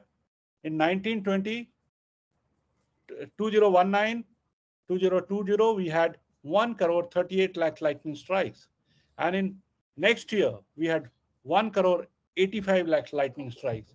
So there has been an increase of, you can see the visually, the there has been significant in the extreme lightning risk areas, and it has been a 34% rise. So this is too much. And we have local hotspots which are coming up during various quarters. We have mapped lightning for every day, for every month, and I'm just showing you to make a difference what happens in during various quarters. April to July, this is the eastern belt, is the hot zone. In August to September, it spreads up to central India also. And in October to December, it is a western India. Rajasthan starts stopping. And in January to March, it is the Himalayan foothills and again the central India. These are the numbers. First quarter, Odisha is stopping. Second quarter, Madhya Pradesh. Third quarter, October, December, Rajasthan. And fourth quarter, Madhya Pradesh. So if you see, we have developed lightning strike, not lightning atlas, not only for India, but for the states also. This is a state of West Bengal. In fact, we have shared this with the state government and state governments are supposed to take cognizance of this. If you see lightning fatalities month, we have a study by Dr. S.D. Pawar of IITM, and this says that this is a lightning trend, that in June you get the highest lightning strikes. But in our study, when we have done it for all the states, you will find it is different for different states. Like Meghalaya, it is not June, it is March when you get the highest lightning strikes. Mizoram, it is May when you get the highest lightning strikes. Again, Nagaland, it is March when you get the highest lightning strike. Andhra Pradesh, it is June and October. Kerala, it is November. In fact, next week we are going to start our awareness program in Kerala. Tamil Nadu, it is May and November. Similarly, Telangana. And if you see these lightning strikes, they cause deaths. And along with these deaths, there is huge loss of finances to the government because each lightning death, 4 lakh rupees per death is given. We have also come out with a lightning timing. So we have divided in four quarters, first quarter 6 a.m. to 12, 12 to 6 p.m., 6 to 11. And to each state, we have graded them when lightning takes place in those states. So for 12 months, lightning timing has been given by us. We have also given geographical, you know, lightning per square kilometer data. And you will be surprised that Delhi is figuring in this at a very higher zone, that is 13. And if you see population vulnerability, Delhi comes at number two. So Delhi, Chandigarh, now Punjab government has woken up. They have contracted us and we are doing lightning action plan for them. We have a lightning resilience ratio. This is Kerala is the so far one of the best. We have also gone on a geographical area wise, background lightning, backcountry lightning risk management program. So in a village, you have to identify which are the difficult areas, which are the safer areas, and you have to apprise villagers when what to do. Like you see in the hills, if you're going for cattle grazing, the lightning is in the morning is generally on the eastern side. So you should do cattle grazing and farming on the western side. Similarly, if lightning is there in the second half, your agriculture and cattle grazing activity should be on the eastern side. These are lightning safe areas. As far as the lightning origin is concerned, in India, we have seen 34% rise in lightning, whereas the global study by the University of the California University says with one degree rise, it is rise in 12 times, you know, in lightning. Even the IPCC current report had said this, but our is a very, very grim situation. 34% rise in one year time and states like Bengal, Punjab, they have recorded more than 100%. So we need to take more action on ground. This is a percentage increase in lightning strike in the states. Similarly, there has been decrease also in lightning. All those areas where moisture was not there, there was drought area, there was decrease in lightning. But it is a dangerous signal because next year when the monsoon comes, there will be more lightning strikes in these states. As far as the lightning strike is concerned, we have Bay of Bengal. This is the most lightning prone zone of India and Bay of Bengal is the origin. Similarly, on the western side, we have the Arabian Sea which causes and western disturbances. It keeps on disturbing India as a and throughout the year they cause instability in the weather and there are lightning strikes. The lightning cloud which comes from the Bay of Bengal it divides it here in two parts. One is it goes to the east up to Shillong, Nagaland, and on the west it goes to Chhattisgarh and Madhya Pradesh. As the monsoon moves, this pattern keeps on changing. I'm just showing it for the academic purpose. We have lightning even in January month. This is due to the anticyclonic circulation which takes place at the bottom at our both the Bay of Bengal and Arabian Sea, and it goes straight up to the Himalayas. And then you will see in Himalaya Tarais, Uttar Pradesh, Rajasthan, lightning in winter. Lightning in winter in Delhi is also very common. And western disturbance adds fuel to the fire. We have also identified lightning victims. 96% people are from the rural background. 70% farmers, 34% women, 35% children. And then there is adverse impact on the children mental health. Wherever lightning is there, children their mental development becomes slow. There is a very intimate, intimate relation between the tribal and the lightning. Since tribal have open, you know, life lifestyle, livelihood, and their houses are mostly in the tree around trees, so they get more lightning strikes. And if you see, this is the district in Odisha, Mayurbhanj. In 2000, 18, Mayurbhanj had 152 deaths in one year. But due to our action, we have taken especially this area, southern Jharkhand, eastern Chhattisgarh, and now Mayurbhanj is having lightning deaths below 20 for the last two years. There are large number of deaths of animals. This is the case of Kashmir. This is the case in Andhra Pradesh. And if you take the revenue loss, the compensation paid by the government in last various years. It's more than hundreds of crores. And Odisha is the state which has done good and they have reduced the lightning deaths. And we awarded them with the Lightning Resilient India Award. And so is to the Andhra Pradesh state. They have achieved more than 70% reduction in lightning deaths. And if you consider reducing deaths, these are the green states, green states, Odisha, Andhra, Nagaland, Mizoram, Jharkhand, Maharashtra, Assam, West Bengal, Kerala, Karnataka, Punjab. And these are the red states, Madhya Pradesh, Bihar, Uttar Pradesh, Chhattisgarh, Tamil Nadu, Telangana, Delhi, Gujarat, Rajasthan, Uttarakhand, Himachal Pradesh. Bihar has done good job, but they have not been able to reap a good result this year. We have the complete lightning risk management solutions, which we give to states we have proper memorandum of understanding with government of India organizations like India Meteorological Department, NRSC, and the state governments. And we function with them and we carry out lightning complete advisory and a lightning action plan. We prepare a dedicated action plan based on the guideline. I'm also part of the National Committee of Experts on Lightning at NDMA. So we have guidelines on lightning. We have started off Vajrapat Suraksha Rath for awareness. This is a picture of Ranchi, my hometown, where we are launching. We launched this before the season. It goes up to villages and carries out awareness. So this is the ownership. This is the deputy commissioner of Ranchi and all circle officers were made to host it in their respective blocks. Similarly, we have started off state lightning action plan and seasonal events, especially Kal Baisakhi, pre-monsoon, terminal monsoon, western disturbances. We create lightning awareness through the, with the help of our volunteers.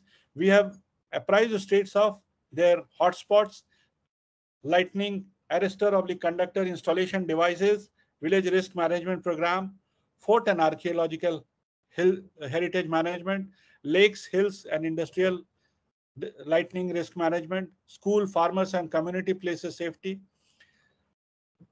We have created booklets for schools, children. Victim identification is very important. They are basically, you saw in Rajasthan, it was tourist.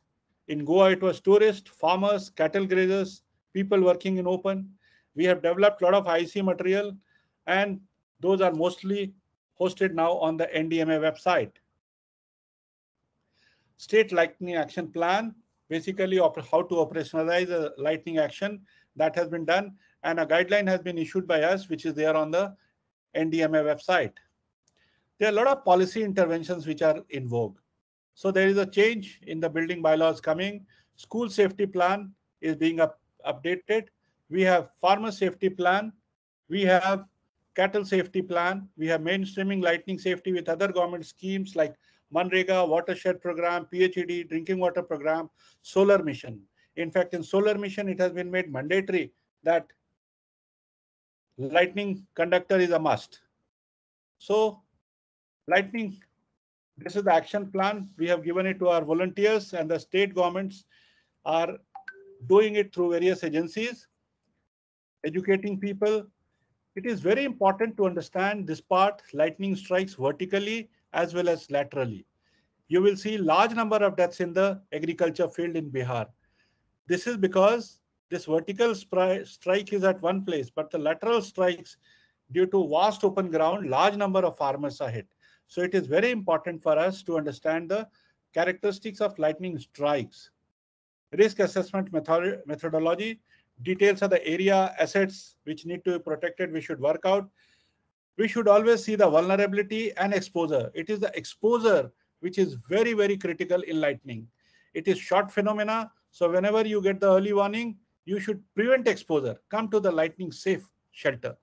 Geographical vertical vulnerability has to be identified lightning strike history has to be done and it has to be related to the lightning risk map.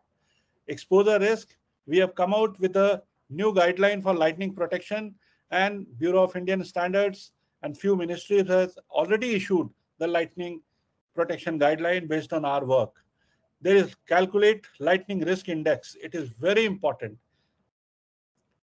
Lightning risk map has been developed and it has been shared we have also come out with a lightning public notification device.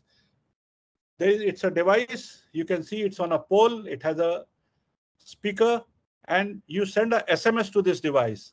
This device will announce in the same language what you have sent the SMS. So that's the beauty of this device. You can also sound hitter, putter, and you can de-alert people. After alerting, it is very important to deactivate, de-alert people. So you can do with this device. This we have developed in consultation with IMD and the Rajasthan State Disaster Management Authority. Mind it, this device people were have been importing in crores of rupees, you know, from abroad. We have just made it within 2 lakh rupees in India. Depending on location, it costs around 1.5 to 2 lakh rupees. So this is a device which we have created. Lightning capacity building is a very important program in fact, if you do proper capacity building, you can reduce 70% deaths of lightning. And in this, do's and don'ts and setting up a lightning warning system is very important. There is a five second rule.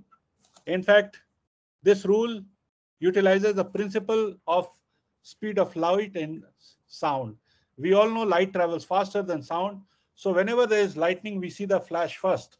And if you see the flash first, start counting. One, two, three, four, five. And if you can count up to five, it means lightning is one mile away. If you can count up to 10, it means lightning is two mile away. This counting gives you the time, reaction time, so that you can go and put yourself in a safe shelter. Nature always gives you alert. Whenever there is lightning, there is a black round round cloud which comes. We call them cumulonimbus cloud. There is, you know, goosebumps. You will get tingling. There will be slight breeze. So that is a nature's early warning of lightning. We have educated women, self-help groups, and other various groups like children. And these are the IEC posters. This is our tagline. 70% people in India die because they stand under tree when there is a lightning or rain. So we say, Jab bijli kare गर्जना पेड़ के नीचे कभी na rehna." when lightning roars never stand under tree never take selfie during lightning don't use mobile phone outside during lightning, keep your doors and windows closed. It has been developed by our intern, Ms. Sangvi Kennedy from Tata Institute of Social Sciences. Whenever there is lightning outside, do not use tap, tap water. Do not wash utensil, do not take bath. And if you're trapped in lightning, please get into crouch position. Your knees should be, your ankles should be together. Why together? Because then you will, you know, present yourself as a single target and lightning will just come and pass it like this. Like a bird doesn't get hit. Similarly, you will get, you will not get hit. If you have a difference between this, you will create step voltage and it will get into your body and you will get electrocuted. Football field is not safe. Whenever you see lightning, come to school, home, or car. The car is safe because of being Faraday's cage. You must install lightning arrestor at your house or office. Outcome of our action so far, there has been significant awareness, education, and training, case study and remedial measures we are giving, reduction in deaths in states in up to 50 to 60% except UP, Bihar, and MP. Lightning Hazard Atlas has been prepared for the first time for country for all the states. There is value addition to IMD and IITM products, promotion to research-based inputs and disaster management. We also undertake researches for lightning research. Way forward, reduce deaths, reduce deaths to zero. Now, Government of India has given a mandate that lightning risk program is going to be a permanent program, a national program of the government, and this will be undertaken at the national level by National Disaster Management Authority. And next year onwards, we are going to have a proper lightning program. I'm sorry, I'm not able to show you. In fact, we have been able to pursue the government to notify lightning as a disaster, and we have been able to succeed in making lightning a national lightning risk management program. Impact-based innovative early warning, we are already with IMD and contributing this, and community awareness is also going. Conduct lightning safety program. We have various modules for farmers, women, school, industries, and other sectors. We are also doing lightning risk audit, and we are also educating people about what type of lightning protection device to be utilized, and promotion to innovation, research and development, and climate change grassroots level adaptation. This is the action we are doing. I'll be happy to take any question if it is there.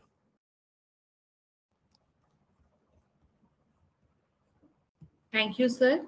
And this is really uh, such a nice presentation, and that's really a good awareness for all of us also. And uh, yes, now the question and answer session getting begin. And any uh, participant having question, please ask. You can ask now.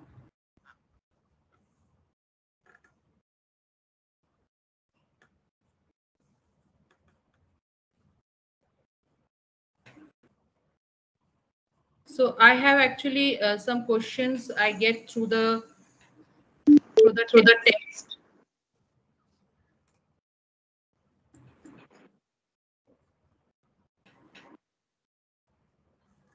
Uh, uh, sir, uh, sir, uh, uh, just just mute it, sir, or, or just stop the presentation, then I will begin.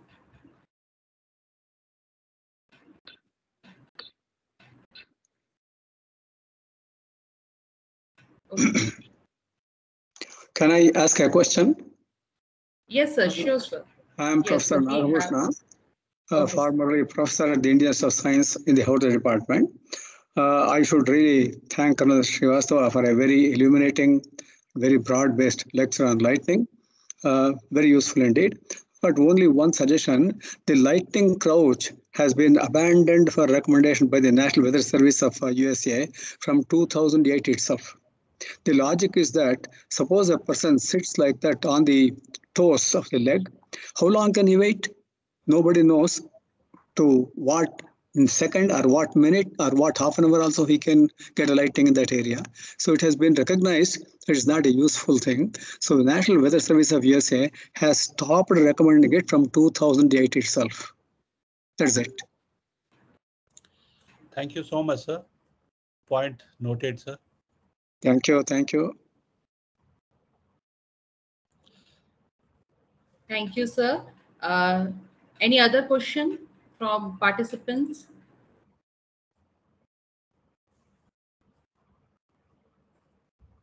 I have some question through text. Uh, the I think this is the for uh, Iftikhar sir. I think somebody asked the question that uh, what are the main obstacles to infrastructure development in Bangladesh uh, coastal cities? Okay, I can answer that. Uh, coastal cities, if you talk about the main cities, I think that is something else. My focus, though, in that presentation was much more like in rural areas. And some of those areas are very remote, very hard to get. When I personally went for my field studies, it took me a lot of time. You would go first, maybe take a car from the main city, go to a ferry point, then you have to cross a river or two by a ferry. Then finally, when you're actually on the side, these are offshore islands or kind of like very coastal areas, then you would have to get up on a motorbike on the back of someone driving a motorbike on these, um, I don't know what you call them in your language. We call them aisle in Bengali. These are like uh, very small raised embankments that divide uh, paddy fields. And they are made out of mud and you go on them and it's kind of you know ultimately you actually go to the site and some so they are very remote. So you can imagine the challenges of actually providing infrastructure. And infrastructure in the sense that you see it modern infrastructure may not be a realizable dream for many of those areas but you could have like some kind of incremental approach by like remember i showed you that photograph when they had these brick soling on these raised embankments? That's one way and over time they may be able to pave it with asphalt and kind of make a pakka road. But you see it's just a slow process of improving the infrastructure there. One thing i do want to tell you though is that interestingly there's been a spontaneous solar power revolution if i may use the word in these coastal areas and because they don't they are not connected to the national grid i think bangladesh still i think is about mm, around 50% of electrification nationwide.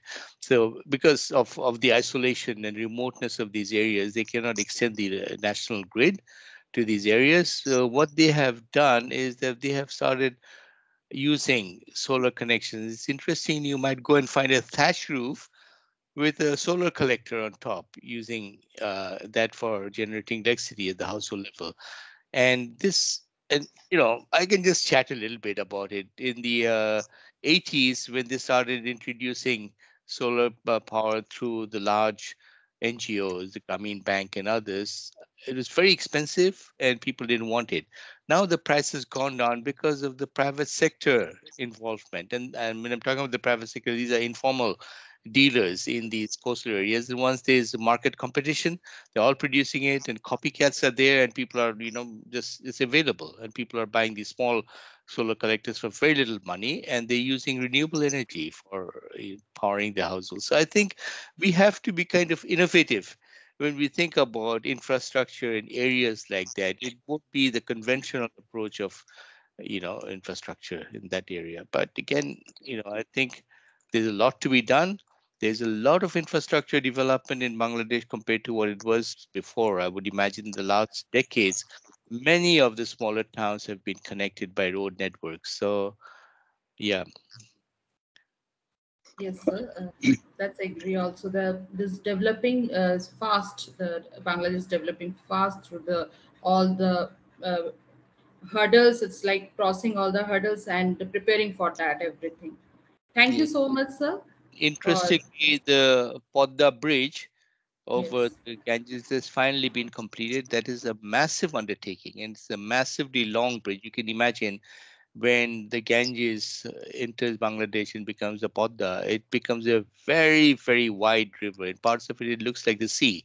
And to actually build a bridge in a developing country context like Bangladesh, is is actually a massive, you know, achievement, I would say. Uh, Thank Can you, I- sir. For, yeah. Yes. sir. Can I make another small point regarding Colonel Srivastava's uh, topic? Again, I'm Professor Nagabhushana speaking. See, regarding the regarding one of the slides, the a voltage of 10 kV, 8 kV, 6 kV were mentioned. I do not know if they are the right units. Uh, the reason why I'm saying is that soil resistivity may be of the order of about 1000 ohm centimeter. But remember, we have to remember that the soil resistivity is a very highly nonlinear parameter. Uh, beginning, it can be soil resistivity can be about the order of 1000 ohm centimeter. It goes down remarkably. So even if you have a normal uh, rod to ground, the resistance comes down to about 40 ohms. Resistance of the elect- uh, as electrode comes down to 40 ohms. Even if you assume a, the mean current of roughly about 40 kiloamperes, at the point of strike, the voltage will be approximately 1,600 kilowatts. That will be for a few microseconds, no doubt about it. And as we go farther off, it go, goes down as the inverse square of the distance because the current density goes on reducing with the distance as the inverse square, I upon 2 pi r squared. It goes down. So this kV, I don't know if there is something, some mistake in the figure or whatever it is. So close to any grounded object, whether it's a tree or a pole, metallic or otherwise, can be extremely dangerous. Proximities can be extremely dangerous. Um, that's why, in fact, he also mentioned it. Dr. Colonel Srivastava also mentioned it. The maximum number of deaths is due to the ground currents. He called it lateral currents. I believe he meant ground currents. The maximum number of deaths, approximately 50% or more, are due to such ground strokes.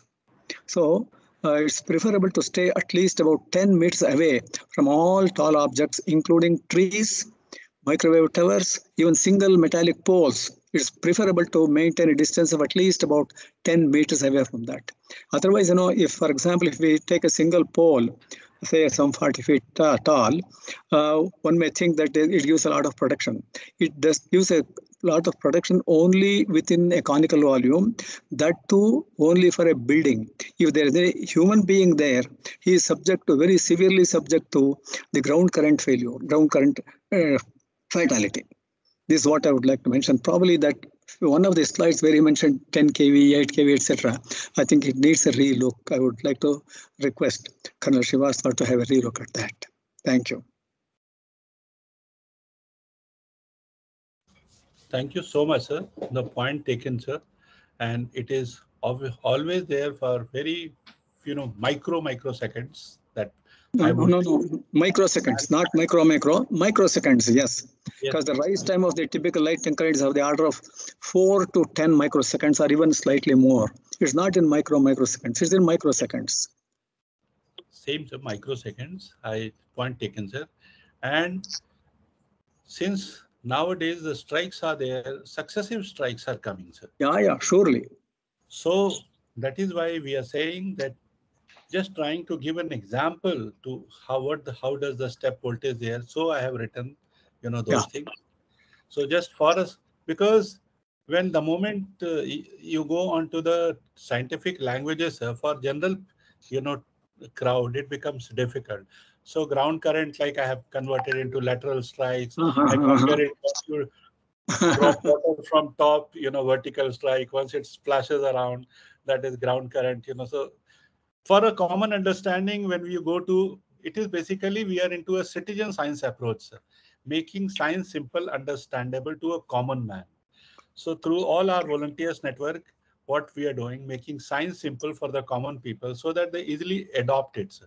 Otherwise, adoption becomes difficult, you know, when you have a low literacy level and when you have a vast diversity in the crowd, sir.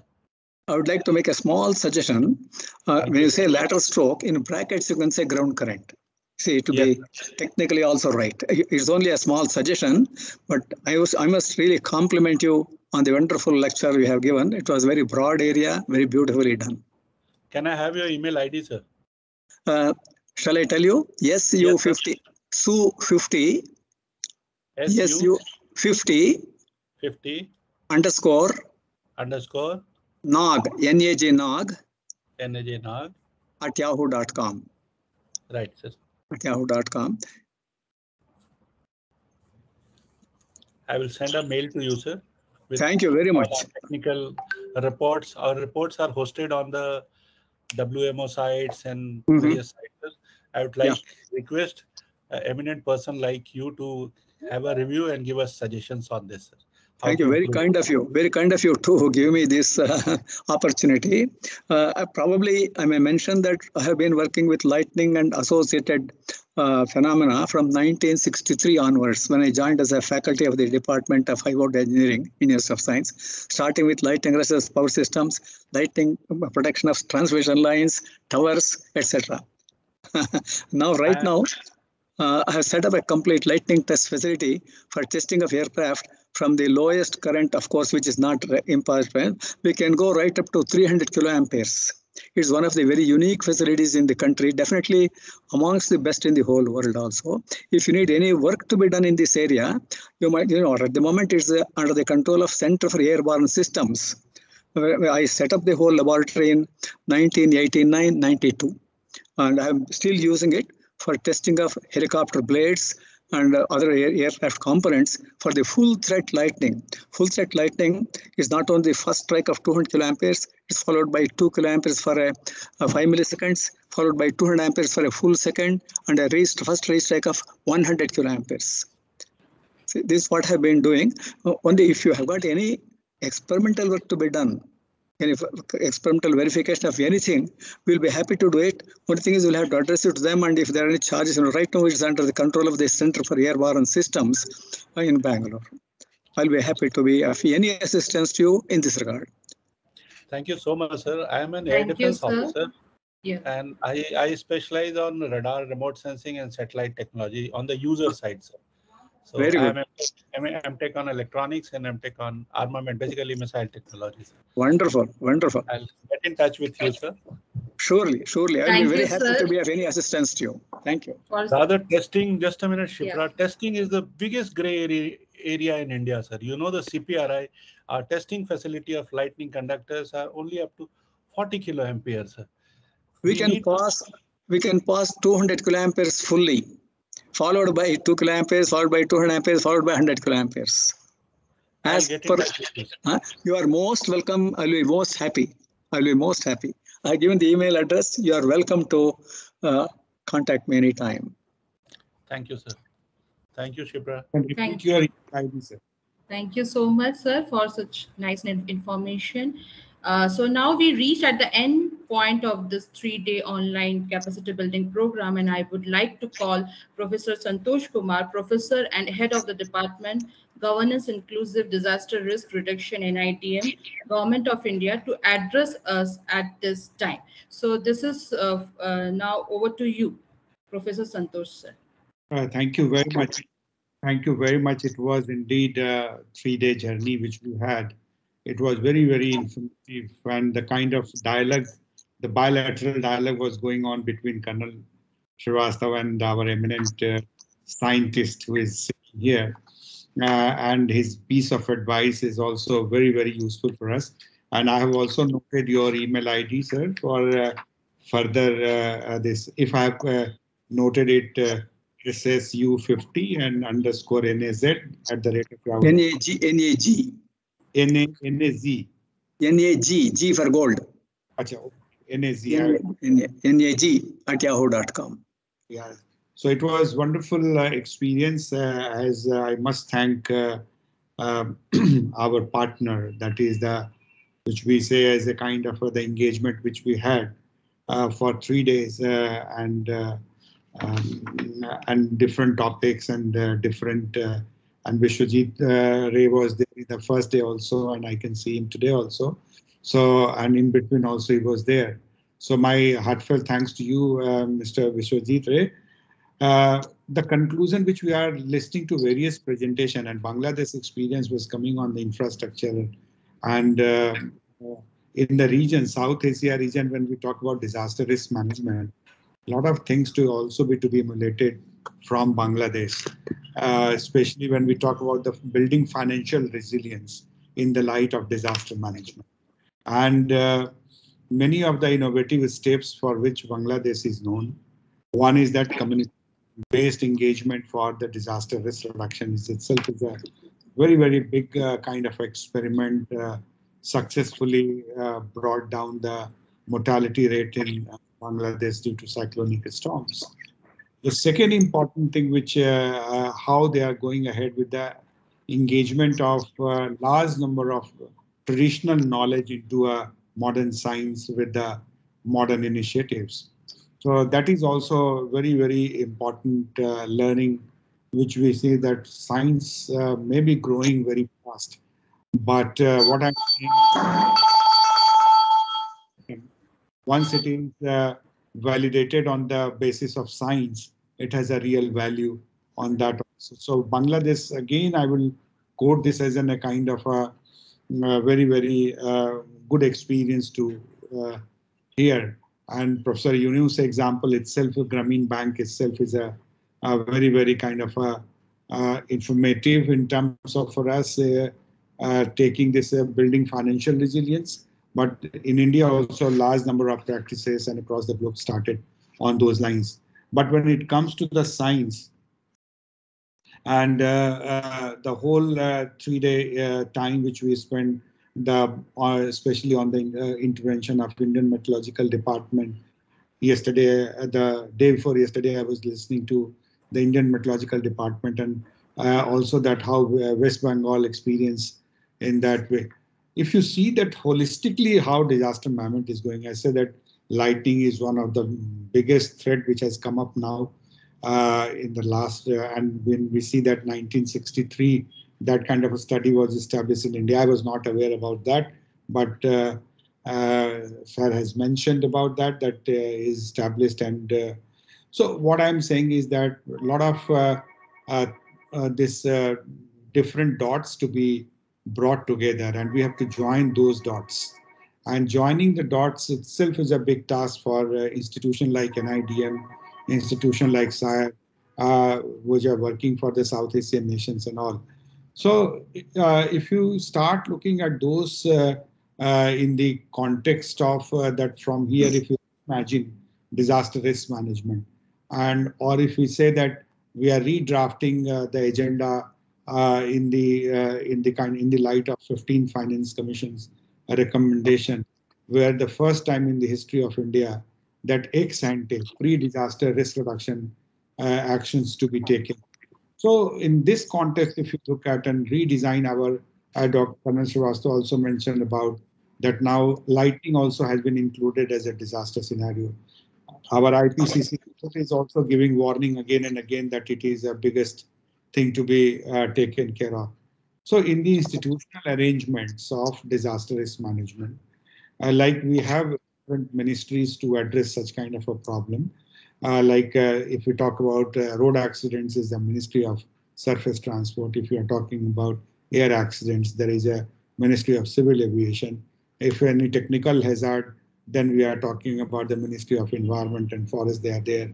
So uh, similarly, when it comes to the lightning, when it comes to the financial resilience, when it comes to uh, uh, other new phenomena which are emerging, uh, how those experiences of different countries can be brought in and can be taken into a kind of a uh, institutionalized intervention uh, in in the country. uh, as we say that uh, climate change has influenced immensely our whole weather pattern. So uh, climate change is in influencing weather pattern, then definitely of things to be done for the science, uh, for the economics, for the social science. Uh, so uh, rural areas, urban areas. So holistically, we need to look at. And uh, the three days deliberations on various topics has given many insights. Uh, so I would definitely request both the institutions to work together on this. Uh, uh, and like in, yesterday, General Nayak was there, and General Nayak was talking about whole pattern of response has also got changed. So just not the response, is everything is changing uh, with the uh, uh, with the uh, human intervention. Uh, so what we see as whether we talk about submarine or we talk about beneath the this ground, on the ground, above the ground, things are not the same as 50 years ago. And the causes of drought, causes the the number and frequency and intensity of droughts, the frequency and intensity of lightning, the frequency and intensity of uh, flooding situation, the frequency and intensity of cyclonic storms, all have uh, changed uh, its pattern. So holistically, if you have to see, and uh, what we say that everything gets converged, whether science, sociology, economics, philosophy, all discipline get converged to the people's need. If I am needing anything, uh, uh, so everything moves around the people's requirement whether the low cost housing and the infrastructure or the uh, modern uh, designed infrastructure or whatever we may conceive. But uh, uh my urge for listening to these three days program that uh, ultimately we will say that science would prevail in quantifying the whole kind of uh, problems and also providing solutions. so learning from different countries' experiences learning from wisdom of the uh, science, uh, which we always say that science is a 500 years old kind of a thing.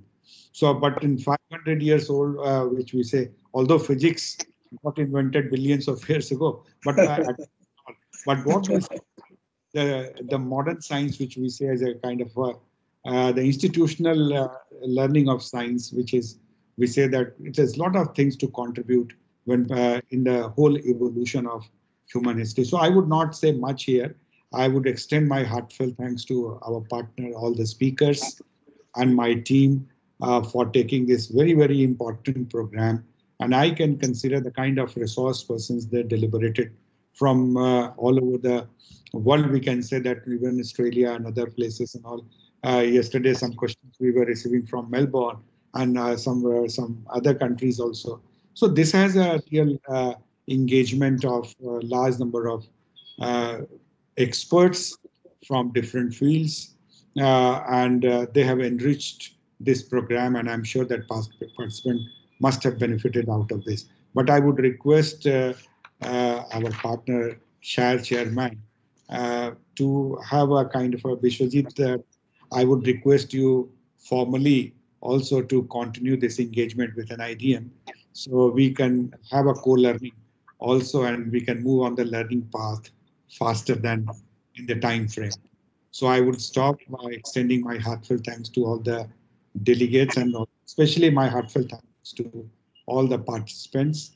Uh, without them, it would not have been successful. But the resource person, the kind of pain which they took, I'm really grateful to them. And I extend my heartfelt thanks to the, them from on behalf of NIDM and also on behalf of SAIARD.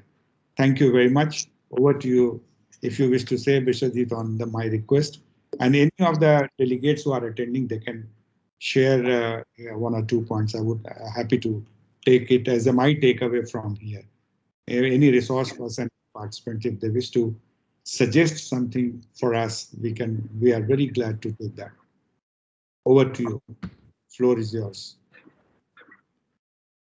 Thank you, sir. Thank you, sir. Thank you. And uh, first of all, once again, I would like to share my sincere thanks to you and your department, also uh, Honorable ED sir, Manoj Bindal sir and all my the resource persons, those who have joined from the different parts of the India as well as and uh, though we have designed this program within a very short span of time, but still uh, we had a belief that it will be definitely it will be a successful event, and we already got a lots of informations from the different participants personal level sir this is a very wonderful initiation and we would like to continue this session in further also and also in further in application sectors or other in a big platform. So as i mentioned in the very first day of inaugural session that we are planning on behalf of SAIARD, we are planning to uh, do uh, international event that is the south asian consortium of disaster management in there and definitely i will approach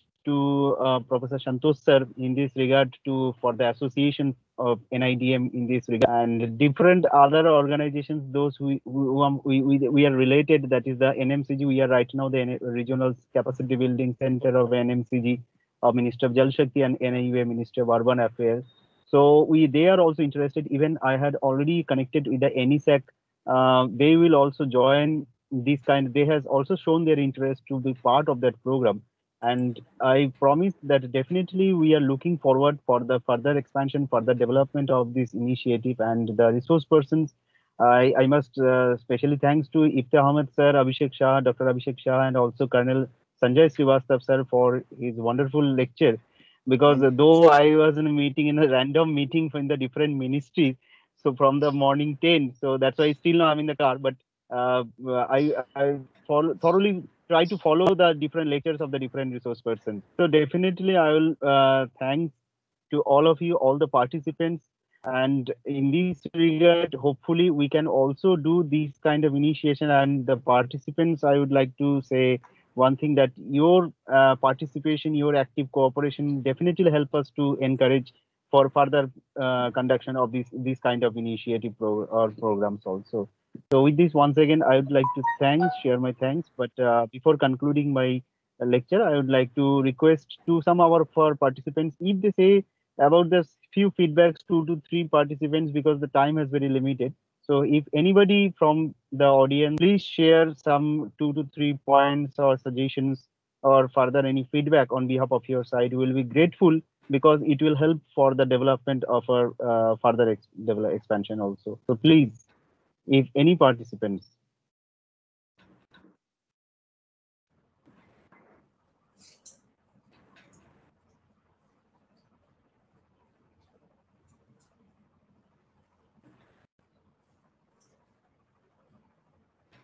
So I, I, I saw that uh, Mr. Sanjeev, Mr. Sanjeev, you say something?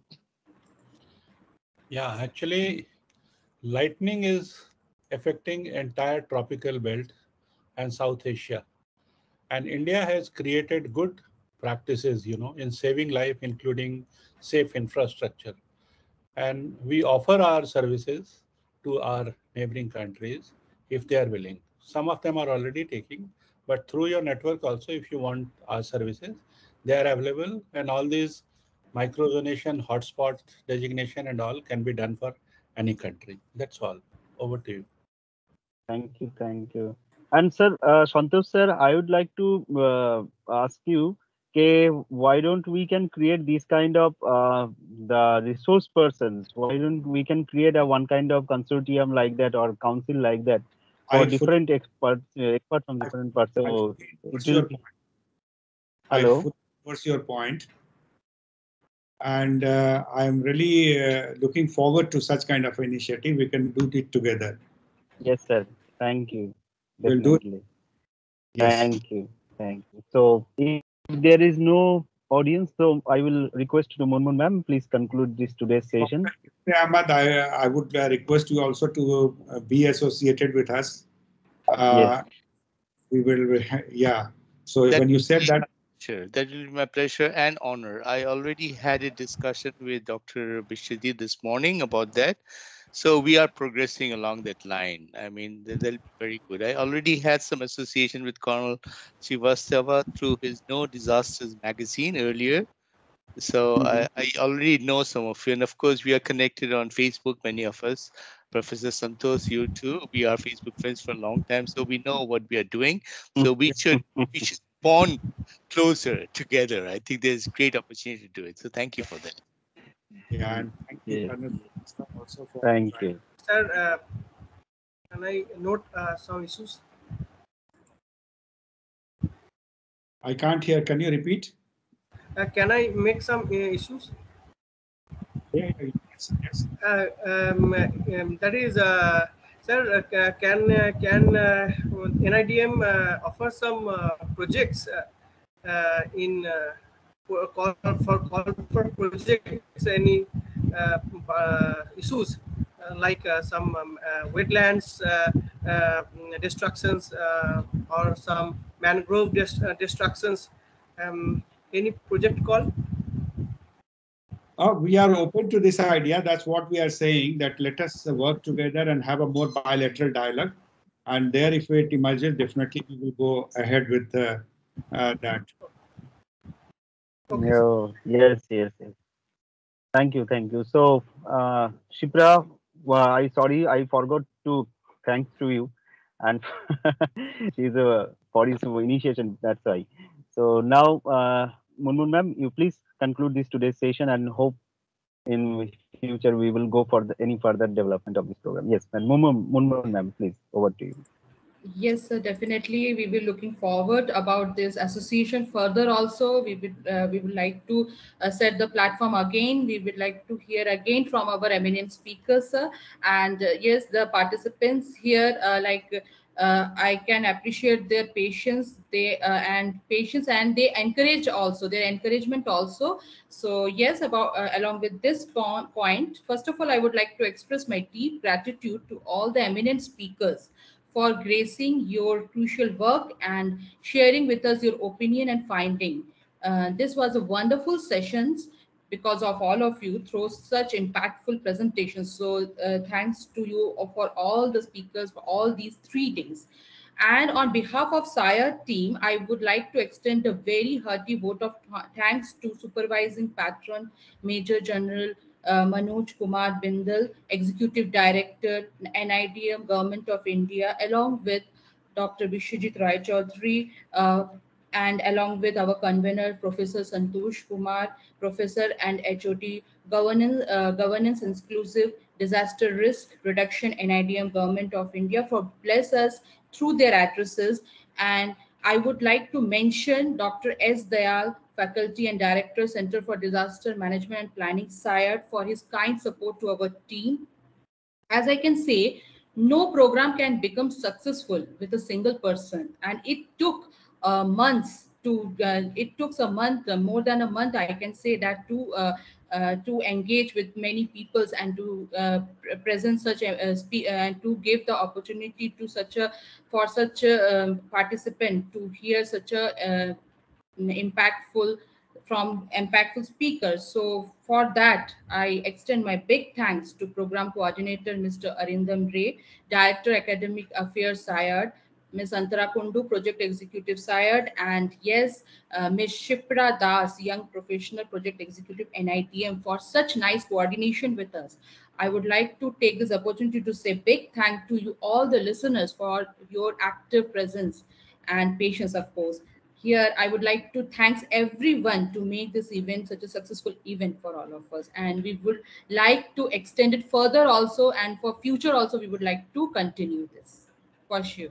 I would also extend my Thanks. heartfelt thanks to everyone and also Professor Nagabhushan for making this kind of intervention and very, very important intervention he could make. And I'm really grateful to you, sir. Thank you very much. I look forward to any cooperation possible from my side. Thank you very much once again. Yes, yes, yes. Thank you, everyone. Sir. Thank you, thank you, Dr. Nagabhushan, sir. Thank you. for your Thank you. Thank you. Thank you. So uh, we should close now. Yeah. Yes, sir. So Thank- we should close Thank- and uh, we should have very happy puja, happy Navratri to all of Thank you. And yes, Because uh, so we are entering into the field of uh, magnetic field of Devi Paksha, जिसको बोलते हैं हिंदी में. Uh, so Thank you. everybody, happy puja to all of you. Happy Navratri, and definitely we will meet in a bigger platform in a uh, coming days. Thank you. Thank you very much. All the best to all of you. Thank you. Bye. Thank you. Bye. Sir. Thank you. Bye.